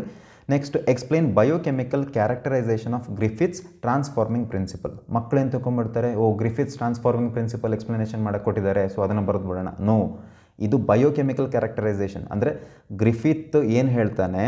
ಅಲ್ಲಿ ಕೆಲವು ಸಲ ಈ ಹೀಟ್ ಕಿಲ್ಡ್ ಎಸ್ ಸ್ಟ್ರೈನ್ಸ್ ಏನಿದೆ ಅದರಲ್ಲಿರುವಂಥ ಡಿ ಎನ್ ಎ ಆರ್ ಸ್ಟ್ರೈನಿಗೆ ಹೋಗಿದೆ. ಆರ್ ಸ್ಟ್ರೈನ್ ಏನಾಗ್ಬಿಟ್ಟಿದೆ? ಎಸ್ ಸ್ಟ್ರೈನ್ ಆಗಿ ಟ್ರಾನ್ಸ್ಫಾರ್ಮ್ ಆಗಿದೆ. ಎಸ್ ಸ್ಟ್ರೈನ್ ಏನು ಮಾಡಿದೆ? ನಿಮೋನಿಯಾ ಮೈಸ್ನಲ್ಲಿ ಕಾಸ್ ಮಾಡಿದೆ. ಮೈಸ್ ಸತ್ತು ಹೋಗಿದೆ ಅಂತ ಗ್ರಿಫಿತ್ ಹೇಳ್ತಾನೆ. This is called S transforming principle but ಅದನ್ನು ಪ್ರೂವ್ ಮಾಡಬೇಕಲ್ಲ. ಗ್ರಿಫಿತ್ಗೆ ಗೊತ್ತಿರಲ್ಲ, ಇದು ಡಿ ಎನ್ ಎನೇ ಕಾಸ್ ಮಾಡಿರೋದು ಅಂತ ಹೇಳಿಟ್ಟು ಈ transformation it could be R N A it could be protein it could be D N A so ಅದನ್ನು ಕಂಡುಹಿಡಿಯಲಿಕ್ಕೋಸ್ಕರ ಈ ಮೂರು ಸೈಂಟಿಸ್ಟ್ಗಳು ಎವರಿ ಮೆಕ್ಲಾಯ್ಡ್ ಮತ್ತು ಮೆಕಾರ್ಟಿ ಅಂತ ಹೇಳೋ ಮೂರು ಸೈಂಟಿಸ್ಟ್ಗಳು ಬಯೋಕೆಮಿಕಲ್ ಕ್ಯಾರೆಕ್ಟರೈಸೇಷನನ್ನು ಮಾಡ್ತಾರೆ. ಸೊ ಅದರ ಎಕ್ಸ್ಪ್ಲನೇಷನ್ ಇಲ್ಲಿದೆ. ಈಸಿ ಇದೆ ಓದ್ಕೊಂಬಿಟ್ಟು ಗೊತ್ತಾಗ್ತದೆ. ನೆಕ್ಸ್ಟ್ ನೋಡಿ ವಾಟ್ ಈಸ್ ಅಡಾಪ್ಟಿವ್ ರೇಡಿಯೇಷನ್ ಇದು ಇವಲ್ಯೂಷನ್ ಚಾಪ್ಟರಿಂದ ಕೇಳಿದ್ರು ಕೇಳಿದ್ರು. ಅಂದರೆ ಎರಡು ಸಾವಿರದ ಇಪ್ಪತ್ತೆರಡರಲ್ಲಿ ರೀಸೆಂಟಾಗಿ ಓಕೆ ಅದನ್ನು ನಾನು ಈ ಕ್ವಶನ್ ಹಾಕಿದೆ ನಿಮ್ಗೆ ಗೊತ್ತಿರಲಿ, ಏನಾದರೂ ಕೇಳಿದರೆ ಯಾವ ರೀತಿ ಬರೀಬೇಕು ಅಂತ ಹೇಳಿ ಐದು ಮಾರ್ಕಿಗೆ explain adaptive radiation with suitable examples okay adaptive radiation definition ಬರೀರಿ. ಜೊತೆಗೆ ಅಡಾಪ್ಟಿವ್ ರೇಡಿಯೇಷನ್ದು ಎಕ್ಸಾಂಪಲ್ಸ್ಗಳು ಎಕ್ಸಾಂಪಲ್ಸ್ಗಳು ಅಂತ ಹೇಳಿದ್ರೆ ಡಾರ್ವಿನ್ ಫಿಂಚಸ್ ಬರುತ್ತೆ ಪ್ಲಾಸೆಂಟಲ್ ಮ್ಯಾಮಲ್ಸ್ ಇನ್ ಆಸ್ಟ್ರೇಲಿಯಾ ಮತ್ತು ಮಾರ್ಸುಪಿಯಲ್ಸ್ ಇನ್ ಆಸ್ಟ್ರೇಲಿಯಾ ಈ ಮೂರು ಎಕ್ಸಾಂಪಲ್ಸ್ಗಳನ್ನು ನೀವು ಬರೀಬೇಕು. ಗಾಟ್ ಇಟ್ ಓಕೆ ಸೊ ಅದರದ್ದು ಎಕ್ಸ್ಪ್ಲನೇಷನ್ ಹಾಕಿದ್ದೀನಿ. ಈಸಿ ನೋಟ್ಸ್ ಇದೆ. ದಯವಿಟ್ಟು ಇದನ್ನೇ ನೀವು ಬೇಕಾದ್ರೆ ಓದ್ಕೊಳ್ಳಿ. That's fine actually you can easily score five marks ಇನ್ನೊಂದು easy question human health and disease ಚಾಪ್ಟರಿಂದ write the schematic representation of H I V life cycle retrovirus life cycle easy ಇದೆ ತಾನೆ? So ಇಲ್ಲಿ ಇದು ಎನ್ ಸಿ ಆರ್ ಟಿದು diagram ಇದು. ಕೆಳಗಡೆ ನೋಡ್ಬೋದು figure eight point six replication of retrovirus ಈ ಥರನೂ ಕೇಳೋ ಚಾನ್ಸ್ ಇದೆ. Give the schematic representation of replication of retrovirus ಅಂತ. No confusion H I V life cycle ಅಷ್ಟೇ. ಓಕೆ ಸೊ ನೋಡಿ, ಇಲ್ಲಿ ಸ್ಕಿಮ್ಯಾಟಿಕ್ ರೆಪ್ರೆಸೆಂಟೇಷನ್ ನೋಡ್ಕೊಳ್ಳಿ ಈಸಿ ಇದೆ. ನೆಕ್ಸ್ಟ್ ನೋಡಿ answer any two of the following in two hundred to two fifty words each wherever applicable okay ಐದು ಕ್ವಶನ್ಸ್ಗಳನ್ನ ಕೊಟ್ಟಿದ್ದಾರೆ, ನೀವು ಎಷ್ಟು ಬರಿಬೇಕು? ಎರಡು ಬರಿಬೇಕು. ಸೊ ಫಾರ್ಟಿ ತ್ರೀ ಅದರಲ್ಲಿ ಎರಡು ಸಬ್ ಕ್ವಶನ್ಸ್ಗಳಿದೆ write a note on M O E T M O E T ಅಂದ್ರೇನು multiple ovulation embryo transfer technology ಮೂರು ಮಾರ್ಕ್ಸಿಗೆ ಇದು ಬಹಳ ಈಸಿ ಇದೆ. ಏನಿಲ್ಲ ಸಿಂಪಲ್ ನಂತರ name any two organisms used in single cell protein ಎರಡು ಆರ್ಗನಿಸಮ್ಸು ಸಿಂಗಲ್ ಸೆಲ್ ಪ್ರೋಟೀನಲ್ಲಿ ಯೂಸ್ ಮಾಡುವಂಥದ್ದು. ಅಂದರೆ ಒಂದು ಸ್ಪಿರುಲಿನ ಇದೆ, ಇನ್ನೊಂದು ಮಿಥೈಲೋಫೈಲಸ್ ಮಿಥೈಲೋಟ್ರೋಪಸ್ ಇದೆ. ಎನ್ ಸಿ ಆರ್ ಟಿಲಿ ಕೊಟ್ಟಿದ್ದಾರೆ. Okay so M O E T multiple ovulation embryo transfer ಅಂತ ಹೇಳಿದ್ರೆ ಒಂದು ಕ್ಯಾಟಲ್ ಇರುತ್ತೆ. ಅಂದರೆ ನಾರ್ಮಲಿ ಒಂದು ಅದಕ್ಕೆ ಅದರಲ್ಲಿ ಆ್ಯಕ್ಚುಲಿ ಮಿಲ್ಕ್ ಪ್ರೊಡಕ್ಷನ್ ಎಬಿಲಿಟಿ ಜಾಸ್ತಿ ಇರುತ್ತೆ. ಓಕೆ ಸೊ ಇದನ್ನೇನು ಮಾಡ್ತಾರೆ ಅಂತ ಹೇಳಿದ್ರೆ, ಅದಕ್ಕೆ ನಾವು ಸುಪೀರಿಯರ್ ಪೇರೆಂಟ್ ಅಂತ ಕರಿತೀವಿ. ಇದಕ್ಕೆ F S H follicular stimulating hormone ಅಂತ ಏನು ಹೇಳ್ತೀವಿ, ಆ ಥರದ ಹಾರ್ಮೋನ್ಗಳನ್ನು ಇಂಜೆಕ್ಟ್ ಮಾಡ್ತಾರೆ. ಇದು ಈ ಓವಿಲೇಷನ್ ಅಂದರೆ ಸೂಪರ್ ಓವಿಲೇಷನನ್ನು ಇನಿಷಿಯೇಟ್ ಮಾಡುತ್ತೆ. ಸೂಪರ್ ಓವಿಲೇಷನ್ ಅಂತ ಹೇಳಿದ್ರೆ ಮಲ್ಟಿಪಲ್ ಓವ ಆರ್ ಪ್ರೊಡ್ಯೂಸ್ಡ್ ಒಂದು ಓವಿಲೇಷನ್ ಆಗಬೇಕಾದ್ರೆ ತುಂಬ, ಒಂದು ಆರರಿಂದ ಎಂಟು ಓವಗಳು ಉತ್ಪತ್ತಿ ಆಗ್ತದೆ. ಈ ಟೈಮ್ನಲ್ಲಿ ಏನು ಮಾಡ್ತಾರೆ, ಒಂದು ಎಲೈಟ್ ಬುಲ್ನ ಇದಕ್ಕೆ ಮೇಟ್ ಮಾಡಿಸ್ತಾರೆ. ಅಥವಾ ಕೆಲವು ಸಲ ಏನು ಮಾಡ್ತಾರೆ ಆರ್ಟಿಫಿಷಿಯಲ್ ಇನ್ಸಮಿನೇಷನ್ ಮುಖಾಂತರ ಎಲೈಟ್ ಬುಲ್ನಲ್ಲಿರುವಂಥ ಸ್ಪರ್ಮ್ಸ್ಗಳನ್ನು ಇದಕ್ಕೆ ಹಾಕ್ತಾರೆ. ವಾಟ್ ಎವರ್ ಇಟ್ ಈಸ್ ಒಳಗಡೆ ಏನಾಯಿತು? ನ್ಯಾಚುರಲ್ ಫರ್ಟಿಲೈಸೇಷನ್ ಆಗ್ತದೆ. ಆರಿಂದ ಎಂಟು ಓವ ಏನಿತ್ತು, ಅದೆಲ್ಲ ಫರ್ಟಿಲೈಸ್ ಆಗ್ತದೆ. ನಂತರ ಒಂದು ಸುಮ್ಮನೆ ಒಂದು ಎಂಟರಿಂದ ಮೂವತ್ತೆರಡು ಸೆಲ್ ಸ್ಟೇಜ್ ಆಗಬೇಕು. ಯಾವುದು? ಆ ಓವ ಈ ಮೈಟೋಸಿಸ್ಗೆ ಒಳಗಾಗಿ ಎಂಬ್ರಿಯೋ ಆಗ್ತದೆ. ಈ ಎಂಬ್ರಿಯೋ ಎಂಟರಿಂದ ಮೂವತ್ತೆರಡು ಸೆಲ್ ಸ್ಟೇಜಿಗೆ ಆಗಬೇಕಾದ್ರೆ ನಂತರ ಅದನ್ನು ನಾನ್ ಸರ್ಜಿಕಲ್ ಅರ್ಥ ಮಾಡ್ಕೊಳ್ಳಿ ಸರ್ಜರಿ ಮಾಡಿ ತೆಗೆಯಲ್ಲ, ಈ ನಾನ್ ಸರ್ಜಿಕಲ್ ಅದನ್ನು ತೆಗಿತಾರೆ ಹೊರಗಡೆ. ಅರ್ಥ ಆಯ್ತಾ? ಆರಿಂದ ಎಂಟು ಎಂಬ್ರಿಯೋಸ್ ಏನಿತ್ತು ಎಂಟರಿಂದ ಮೂವತ್ತೆರಡು ಸೆಲ್ಡ್ ಸ್ಟೇಜು ಅದನ್ನು ಹೊರಗೆ ತೆಗಿತಾರೆ. ಸೊ ನಂತರ ಏನು ಮಾಡ್ತಾರೆ ಅಂತ ಹೇಳಿದ್ರೆ ಸರಗೇಟ್ ಮದರ್ಸ್ ಇರ್ತದೆ, ಈ ಬಾಡಿಗೆ ತಾಯಿ, ಅಂದರೆ ಇನ್ನೊಂದು ಕ್ಯಾಟಲ್ಸ್ಗಳು ಒಂದು ಆರರಿಂದ ಎಂಟು ಕ್ಯಾಟಲ್ಸ್ಗಳನ್ನ ಸೆಲೆಕ್ಟ್ ಮಾಡೋದು, ಪ್ರತಿಯೊಂದು ಕ್ಯಾಟಲ್ಸ್ಗಳಿಗೂ ಈ ಎಂಬ್ರಿಯೋಸ್ಗಳನ್ನು ಒಂದೊಂದು ಎಂಬ್ರಿಯೋಸ್ಗಳನ್ನು ಇಂಪ್ಲಾಂಟ್ ಮಾಡೋದು. ಇಷ್ಟೇ. ಇದಕ್ಕೆ ನಾವು M O E T what is the advantage ಒಂದು single ಮೀಟಿಂಗ್ನಲ್ಲಿ you got around six to eight offsprings what is the advantage with in a single mate it is really helpful to increase the herd size cattle ಸೈಜನ್ನು ಜಾಸ್ತಿ ಮಾಡ್ಬೋದು. ಅಂದರೆ ನಂಬರನ್ನು ಜಾಸ್ತಿ ಮಾಡ್ಬೋದು in a population that's it so ಬಹಳ simple ಇದು. Okay next ನೋಡಿ. ಸ್ಪಿರಿಲಿನ ಮೆಥಲಫೈಲಸ್ methylotrophus example ಹೇಳಿದ್ದೀನಿ. ಎಸ್ ಸಿ ಪಿ ನೆನ್ಪಿಟ್ಕೊಳ್ಳಿ. Next forty four explain the Rhone role of microbes in sewage treatment ಇದು ಕೂಡ ಸಿಂಪಲ್ ಇದೆ. ಮಕ್ಕಳು ಯಾಕೆ ಇದನ್ನು ಕಷ್ಟಪಡ್ತಾರೆ ನಂಗೆ ಗೊತ್ತಾಗೋದಿಲ್ಲ. ಈವನ್ ಲಾಸ್ಟ್ ಇಯರ್ ಎಕ್ಸಾಮಲ್ಲಿ ಕೇಳಿದರು. ಅಲ್ಲಿ ಕಷ್ಟಪಟ್ಟಿದ್ರು ಮಕ್ಕಳು ಸಿ ಫಸ್ಟ್ ತಿಳ್ಕೊಬೇಕಾಗಿರೋದು ಈ ಸಿವೇಜ್ ಟ್ರೀಟ್ಮೆಂಟ್ನಲ್ಲಿ ಎರಡು ಟ್ರೀಟ್ಮೆಂಟ್ಗಳಿರುತ್ತೆ ಫಿಸಿಕಲ್ ಟ್ರೀಟ್ಮೆಂಟ್ ಇದಕ್ಕೆ ನಾವು ಪ್ರೈಮರಿ ಟ್ರೀಟ್ಮೆಂಟ್ ಅಂತ ಕರಿತೀವಿ. ಸೆಕೆಂಡ್ ಯಾವುದಿದೆ? ಬಯಾಲಜಿಕಲ್ ಟ್ರೀಟ್ಮೆಂಟ್ ಅಥವಾ ಸೆಕೆಂಡ್ರಿ ಟ್ರೀಟ್ಮೆಂಟ್ ಅಂತ ಕರಿತೀವಿ. ಅಲ್ವಾ? ಇಲ್ಲಿ ಕೇಳಿದ್ದು microbes in sewage treatment microbes ಬರೋದೆಲ್ಲಿ biological biology ಅಂದರೆ ಏನಪ್ಪ? It's nothing but study of life ಅಲ್ವಾ? ಸೊ ಹಾಗೆ. ಲೈಫ್ ಅಂತ ಹೇಳಿದ್ರೆ ಅಲ್ಲಿ ಮೈಕ್ರೋಬ್ಸ್ ಇಷ್ಟೇ. ಸೊ ಬಯಾಲಜಿಕಲ್ ಟ್ರೀಟ್ಮೆಂಟನ್ನು ನೀವು ಬರೀಬೇಕು. ಈ ಬಯಾಲಜಿಕಲ್ ಟ್ರೀಟ್ಮೆಂಟಲ್ಲಿ ನೆನ್ಪಿಟ್ಕೊಳ್ಳಿ ಫಸ್ಟ್ ಮೂರು ಟ್ಯಾಂಕ್ ಇರುತ್ತೆ. Okay one two three first ಟ್ಯಾಂಕಿಗೆ ಏನು ಕರೀತಾರೆ ಅಂತ ಹೇಳಿದ್ರೆ ಏರಿಯೇಷನ್ ಟ್ಯಾಂಕ್ ಅಂತ ಕರೀತಾರೆ. ಈ ಮಧ್ಯದ ಟ್ಯಾಂಕಿಗೆ ಸೆಟ್ಲಿಂಗ್ ಟ್ಯಾಂಕ್ ಅಂತ ಕರೀತಾರೆ. ಥರ್ಡ್ ಟ್ಯಾಂಕಿಗೆ ಅನರೋಬಿಕ್ ಸ್ಲಡ್ಜ್ ಡೈಜೆಸ್ಟರ್ ಅಂತ ಕರೀತಾರೆ. ಸೀರೀಸ್ ಸೊ ಇಲ್ಲಿಂದ ಬರುವಂಥ ಈ ಪ್ರೈಮರಿ ಟ್ರೀಟ್ಮೆಂಟ್ನಿಂದ ಬರುವಂಥ ಎಫ್ಲೂಯೆಂಟನ್ನು ಫಸ್ಟ್ ಟ್ಯಾಂಕಿಗೆ ಹಾಕಬೇಕು. ಏರೇಷನ್ ಟ್ಯಾಂಕಿಗೆ ಯಾಕೆ ಏರೇಷನ್ ಟ್ಯಾಂಕ್ ಅಂತ ಕರೀತಾರೆ? ಅಲ್ಲಿ ಕಂಟಿನ್ಯೂಸ್ ಸಪ್ಲೈ ಆಫ್ ಆಕ್ಸಿಜನ್ ಇರುತ್ತೆ.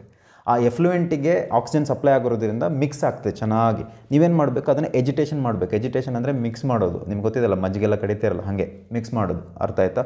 ಆ ಟೈಮ್ನಲ್ಲಿ ಅಲ್ಲಿರುವಂಥ ಬ್ಯಾಕ್ಟೀರಿಯಾ ಯಾವ ಬ್ಯಾಕ್ಟೀರಿಯಾ ಇರುತ್ತೆ? ಏರೋಬಿಕ್ ಬ್ಯಾಕ್ಟೀರಿಯಾ ಇರುತ್ತೆ. ಆಕ್ಸಿಜನ್ ಇರೋದ್ರಿಂದ ಅಲ್ಲಿರಬೇಕಾದ ಬ್ಯಾಕ್ಟೀರಿಯಾ ಯಾವುದು? ಏರೋಬಿಕ್ ಬ್ಯಾಕ್ಟೀರಿಯಾ ತಾನೇ. ಅನರೋಬಿಕ್ ಇರಲಿಕ್ಕೆ ಸಾಧ್ಯನೇ ಇಲ್ಲ. ಏರೋಬಿಕ್ ಬ್ಯಾಕ್ಟೀರಿಯಾ ಜೊತೆಗೆ ಫಂಗಸ್ ಏನಿರುತ್ತೆ? ಫಂಗ ಏನಿರುತ್ತೆ? ಅದೆಲ್ಲ ಸೇರಿಕೊಂಡು ಒಂದು ಮೆಶ್ ಲೈಕ್ ಅಪಿಯರೆನ್ಸ್ ಮಾಡುತ್ತೆ. ಅದಕ್ಕೆ ನಾವು ಫ್ಲಾಕ್ಸ್ ಅಂತ ಕರಿತೀವಿ. ಈ ಫ್ಲಾಕ್ಸ್ನ ಅಡ್ವಾಂಟೇಜ್ ಏನು ಅಂತ ಹೇಳಿದ್ರೆ ಈ ಪರ್ಟಿಕ್ಯುಲರ್ ಎಫ್ಲುಯೆಂಟ್ ವಾಟರ್ನಲ್ಲಿ ಇರುವಂಥ ಆರ್ಗ್ಯಾನಿಕ್ ಕಾಂಪೌಂಡ್ಸ್ ಏನಿರುತ್ತೆ, ಅದನ್ನು ತಿಂದು ಹಾಕೋದು ಡೈಜೆಸ್ಟ್ ಮಾಡೋದು. Got it so automatically B O D biochemical ಅಥವಾ ಬಯಾಲಜಿಕಲ್ ಆಕ್ಸಿಜನ್ ಡಿಮಾಂಡ್ ಏನಿದೆ, ಅದು ಕಡಿಮೆ ಆಗ್ತಾ ಬರ್ತದೆ. ದ್ಯಾಟ್ಸ್ ಇಟ್ ಸೊ ಇದು ಫಸ್ಟ್ ಟ್ಯಾಂಕ್ ಈಗ ಎರಡನೇ ಟ್ಯಾಂಕ್ ನಂತರ ಏನು ಮಾಡ್ತಾರೆ, ಆ ನೀರು ಆಲ್ರೆಡಿ ಆರ್ಗ್ಯಾನಿಕ್ ಕಾಂಪೌಂಡ್ ಕಡಿಮೆ ಆಗಿಬಿಟ್ಟಿದೆ. ಅಂದರೆ ಪೊಲ್ಯೂಟೆಂಟ್ಸ್ ಹೋಗಿದೆ ಬಟ್ ಸ್ಟಿಲ್ ಪೊಲ್ಯೂಟೆಂಟ್ಸ್ ಇದೆ in the form of bacteria aerobic bacteria ಇರೋದ್ರಿಂದ ಅದು it's not good for the health ಅದನ್ನು ನೀವು ನೀರಿಗೆ ಬಿಡೋಕ್ಕಾಗಲ್ಲ. ರಿವರ್ಸಿಗೆಲ್ಲ ನೀರನ್ನು ಬಿಡೋಕ್ಕಾಗಲ್ಲ. So pass it to the second tank ಯಾವುದಿದೆ ಸೆಟ್ಲಿಂಗ್ ಟ್ಯಾಂಕ್ ಸುಮ್ಮನೆ ಬಿಟ್ಬಿಟ್ಟೆ ಒಂದೆರಡು ದಿನ. ಆಟೋಮೆಟಿಕ್ಕಾಗಿ ಏನಾಗ್ತದೆ ನಿಮಗೆ ಎರಡು ಫ್ರಾಕ್ಷನ್ ಸಿಗುತ್ತೆ. ಕೆಳಗಡೆ ಏನಿರ್ತದೆ ಅಂತ ಹೇಳಿದ್ರೆ, ಈ ಸ್ಲಡ್ಜ್ ಇರ್ತದೆ. ಅರ್ಥ ಆಯ್ತು? ಮೇಲ್ಗಡೆ ಸೂಪರ್ ನೆಟೆಂಟ್ ಇರ್ತದೆ ಸೂಪರ್ ನೆಟೆಂಟನ್ನು just pass it to the third tank anaerobic sludge digester ಅಲ್ಲಿ ಏನಿರ್ತದೆ ಅನರೋಬಿಕ್ ಸ್ಲಡ್ಜ್ ಡೈಜೆಸ್ಟರ್ನಲ್ಲಿ ಅನರೋಬಿಕ್ ಬ್ಯಾಕ್ಟೀರಿಯಾ ಇರ್ತದೆ. ಅದೇನು ಮಾಡುತ್ತೆ? ಏರೋಬಿಕ್ ಬ್ಯಾಕ್ಟೀರಿಯನ್ನ ಕೊಂದು ಹಾಕ್ತದೆ. It will digest it during the process it releases biogas methane ಗ್ಯಾಸನ್ನು ಮತ್ತು ಈ ಸಲ್ಫರ್ ಅಂತ ಹೇಳುವಂಥ ಗ್ಯಾಸ್ಗಳನ್ನು ಹೊರಗೆ ಬಿಡ್ತದೆ. ಅಷ್ಟೇ, ಅದು ಬಯೋಗ್ಯಾಸಾಗಿ ಉತ್ಪತ್ತಿ ಆಗ್ತದೆ. ಕೊನೆಗೆ ಆ ನೀರು ಪ್ಯೂರಿಫೈ ಆಗ್ತದೆ. ಅದನ್ನು ನೀವು ನಿಯರ್ ಬೈ ವಾಟರ್ ಸೋರ್ಸಸ್ ಏನಿದೆ ಅದಕ್ಕೆ ಬಿಡಬಹುದು. ಇಷ್ಟೇ ವಿಷಯ. So that is very simple actually ನೆನ್ಪಿಟ್ಕೊಳ್ಳಿ, ಮೂರು ಟ್ಯಾಂಕ್. ಅಷ್ಟೇ, ನೀವು story ಬರೆಯೋದಷ್ಟೇ. Okay B O D definition ಮಾತ್ರ ದಯವಿಟ್ಟು ಬರಿಬೇಕು ನೀವು. The amount of oxygen that would be consumed if all the organic matter in one litre of water were oxidised by bacteria okay so next ನೋಡಿ. ಅಲ್ಲಿ ಕೊಟ್ಟಿದ್ದೀನಿ significance of B O D B O ಡಿನ significance ನೀರು ಪೊಲ್ಯೂಟೆಡಾ not ಪೊಲ್ಯೂಟೆಡಾ ಅಂತ ಹೇಳೋಕ್ಕೆ ನಿಮಗೆ B O D help ಮಾಡ್ತದೆ actually B O D value ಜಾಸ್ತಿ ಇದ್ದರೆ ವಾಟರ್ ಪೊಲ್ಯೂಷನ್ ರೇಟು ಜಾಸ್ತಿ ಇದೆ. ಕಡಿಮೆ ಇದ್ದರೆ ವಾಟರ್ ಪೊಲ್ಯೂಷನ್ ಕಡಿಮೆ ಇದೆ ಅಂತ ಅರ್ಥ. ಅಂದರೆ ನೀರು ಸ್ವಲ್ಪ ಪ್ಯೂರ್ ಇದೆ ಅಂತ ಅರ್ಥ. What is polymeric chain reaction P C R ಅಂದರೆ ಏನು? Name the enzyme used in it ಇನ್ನು ಯಾವ ಎನ್ಸೈಮನ್ನು ಯೂಸ್ ಮಾಡ್ತಾರಪ್ಪ ಪಿ ಸಿ ಆರ್ನಲ್ಲಿ ಪಿ ಸಿ ಆರ್ನಲ್ಲಿ ಯೂಸ್ ಮಾಡುವಂಥ enzyme Taq polymerase Thermus aquaticus polymerase okay so P C R ಅಂತ ಹೇಳೋದು ನಿಮಗೆ ಗೊತ್ತಿದೆ. ಒಂದು ಟೆಕ್ನಿಕ್ ಅದು. ಅದರಿಂದ ಏನು ಮಾಡ್ತೀವಿ ನೀವು multiple copies of D N ಎನ ತೆಗಿಬೋದು. ಸೊ ಒಂದು ಸ್ಟೆಪ್ಪಲ್ಲಿ ನಿಮಗೆ billions of D N A ಬರ್ತದೆ. ನಿಮ್ಮ ಹತ್ರ ಒಂದೇ ಡಿ ಎನ್ ಎ ಇರಲಿ. Ultimate you put it into P C R machine you get millions or billions of D N A ಅದಕ್ಕೆ ನಾವು ಪಿ ಸಿ ಆರ್ ಅಂತ ಕರಿತೀವಿ. ಎನ್ಸೈಮ್ ನೆನ್ಪಿಟ್ಕೊಳ್ಳಿ. ಥರ್ಮಸ್ ಆಕ್ವಾಟಿಕಸ್ ಅಂತ ಹೇಳುವಂಥ ಒಂದು ಬ್ಯಾಕ್ಟೀರಿಯಾದಿಂದ ತೆಗೆದಿರುವಂಥ ಒಂದು D N A polymerase enzyme ಅದಕ್ಕೆ ಟಕ್ ಪಾಲಿಮರೇಸ್ ಅಂತ ಕರೀತಾರೆ. ಬಹಳ important next draw a neat label diagram of simple stirred tank bioreactor easy ಇದೆ ಅಲ್ವಾ? ಓಕೆ ಇನ್ನೊಂದು ಕಡೆ ಸ್ಪಾರ್ಜ್ಡ್ ಟ್ಯಾಂಕ್ ಬಯೋರಿಯಾಕ್ಟರ್ ಕೇಳ್ತಾರೆ, ಅದನ್ನು ಕಲ್ತಿರಬೇಕು ಮೂರು ಮಾರ್ಕ್ಸಿಗೆ. ಸೊ ಬಯೋಟೆಕ್ನಾಲಜಿ ಚಾಪ್ಟರಿಂದ ತೆಗೆದಿರುವಂಥ ಕ್ವಶನ್ ಇದು, ನೆನ್ಪಿಟ್ಕೊಳ್ಳಿ ಪ್ರಾಕ್ಟೀಸ್ ಮಾಡಿ. ಓಕೆ ನೆಕ್ಸ್ಟ್ ನೋಡೋಣ ಫಾರ್ಟಿ ಸಿಕ್ಸ್ ಸ್ಟೇಟ್ ಅದರಲ್ಲಿ ಸಬ್ ಕ್ವಶನ್ಗಳಿದೆ ನೋಡಿ. Gause's competitive exclusion principle Allen's rule ಬಹಳ ಇಂಪಾರ್ಟೆಂಟ್ ಇದು. ಓಕೆ ಆರ್ಗನಿಸಮ್ಸ್ ಆ್ಯಂಡ್ ಪಾಪ್ಯುಲೇಷನ್ ಚಾಪ್ಟರಿಂದ ತೆಗೆದಿರುವಂಥದ್ದು next write a note on predators in an ecosystem okay Gause's competitive exclusion principle states that Two closely related species competing for the same resources cannot coexist indefinitely and the competitively inferior one will be eliminated eventually. ಈ ಸ್ಟೇಟ್ಮೆಂಟ್ಗಳೇನಿದೆ ಹಾಗೆ ಬರಿಬೇಕು ನೀವು. So ಅಂದರೆ ನೀವು ಸ್ವಲ್ಪ ಬಾಯ್ಪಾಠ ಮಾಡಬೇಕಾಗ್ತದೆ. ಗಾಟ್ ಇಟ್ ಸೊ ಎರಡು ಕ್ಲೋಸ್ಲಿ ರಿಲೇಟೆಡ್ ಸ್ಪೀಷೀಸ್ ಏನಿದೆ, ಅವುಗಳು ಒಂದೇ ಏರಿಯಾದಲ್ಲಿ ಇರಲಿಕ್ಕೆ ಸಾಧ್ಯವೇ ಇಲ್ಲ. ಯಾಕೆಂತ ಹೇಳಿದ್ರೆ, ಆ ಎರಡು ಸ್ಪೀಷೀಸಲ್ಲಿ ಒಂದು ಸ್ಪೀಷೀಸ್ ಯಾವತ್ತೂ ಡಾಮಿನೇಟಿಂಗ್ ಸ್ಟ್ರಾಂಗ್ ಇರ್ತದೆ, ಇನ್ನೊಂದು ಇನ್ಫೀರಿಯರ್ ಒನ್ ಇರ್ತದೆ. ಇನ್ಫೀರಿಯರ್ ಒನ್ಗೆ ಕಾಂಪೀಟ್ ಮಾಡೋಕ್ಕಾಗಲ್ಲ that will be eliminated right ಅದು ಹೊರಗೆ ಹೋಗೇ ಹೋಗ್ತದೆ. ಯಾಕಂದರೆ ಅಲ್ಲೊಬ್ಬ ಸುಪೀರಿಯರ್ ಡಾಮಿನೇಟಿಂಗ್ ಕ್ರೀಚರ್ ಇದೆ. ಓಕೆ ಅದ್ರ ಜೊತೆ ಕಾಂಪೀಟ್ ಮಾಡೋಕ್ಕಾಗಲ್ಲ inferior ಒನ್ಸಿಗೆ that is Gause's competitive exclusion principle Allen's rule ಏನು ಹೇಳ್ತದೆ?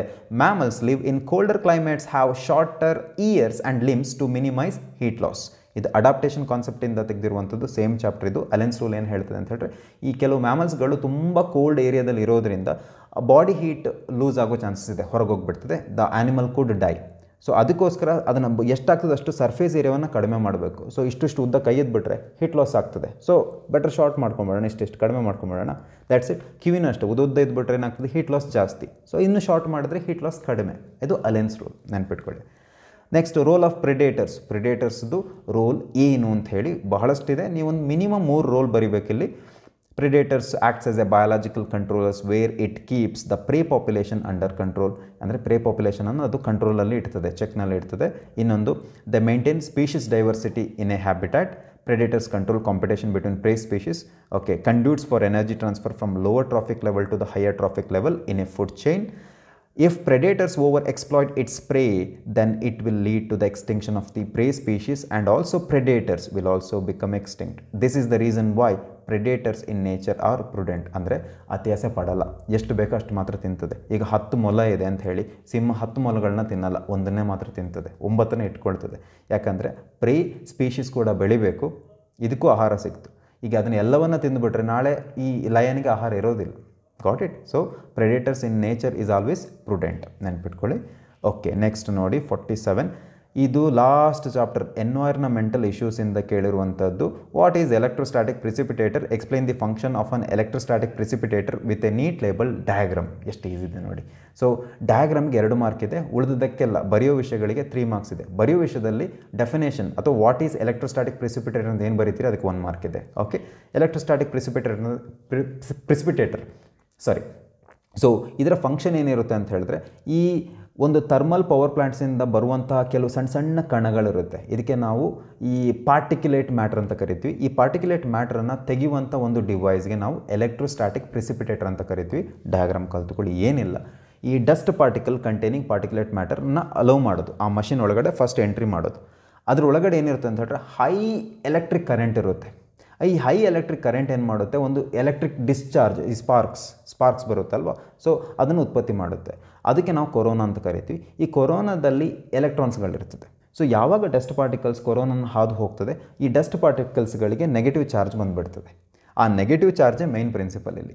ಆ negatively charge dust particle is allowed to settle when it passes the collector plates ಈ ಸ್ವಲ್ಪ ದೂರ ಹೋದ್ಮೇಲೆ ಕಲೆಕ್ಟರ್ ಪ್ಲೇಟ್ಸ್ಗಳಿರ್ತದೆ ಅದರೊಳಗೆ ಹೋಗುವಾಗ ಈ negatively charge dust particle will get attracted to the collector plate ನಂತರ ಒಳ್ಳೆ ಏರ್ ಏನಿದೆ? Pure air pass or goes away ಇಷ್ಟೇ. ಇದು ಎಲೆಕ್ಟ್ರೋಸ್ಟಾಟಿಕ್ ಪ್ರೆಸಿಪಿಟೇಟರ್ ನೆನ್ಪಿಟ್ಕೊಳ್ಳಿ, ಈ ನೆಗೆಟಿವ್ಲಿ ಚಾರ್ಜ್ ಡಸ್ಟ್ ಪಾರ್ಟಿಕಲ್ ಇಲ್ಲಿಂದ ಇಲ್ಲಿಗೆ ಹೋಗಬೇಕಾದ್ರೆ ಅದರ ವೆಲಾಸಿಟಿಯನ್ನು ನಾವು ಕಡಿಮೆ ಮಾಡಬೇಕು. ಇಷ್ಟೇ ಪ್ರಿನ್ಸಿಪಲ್ ದ್ಯಾಟ್ಸ್ ಇಟ್ ಅದನ್ನು ಬರೆದುಬಿಟ್ರೆ ನಿಮಗೆ ಫುಲ್ ಫೈವ್ ಮಾರ್ಕ್ಸ್ ಬರುತ್ತೆ. ದ್ಯಾಟ್ಸ್ ಇಟ್ ಸೊ ಇವತ್ತಿನ ಈ ವಿಡಿಯೋ ಸೆಷನಲ್ಲಿ ನಾವು ಒಂದು ಈಸಿ ಪೇಪರನ್ನು ಸಾಲ್ವ್ ಮಾಡಿದ್ವಿ.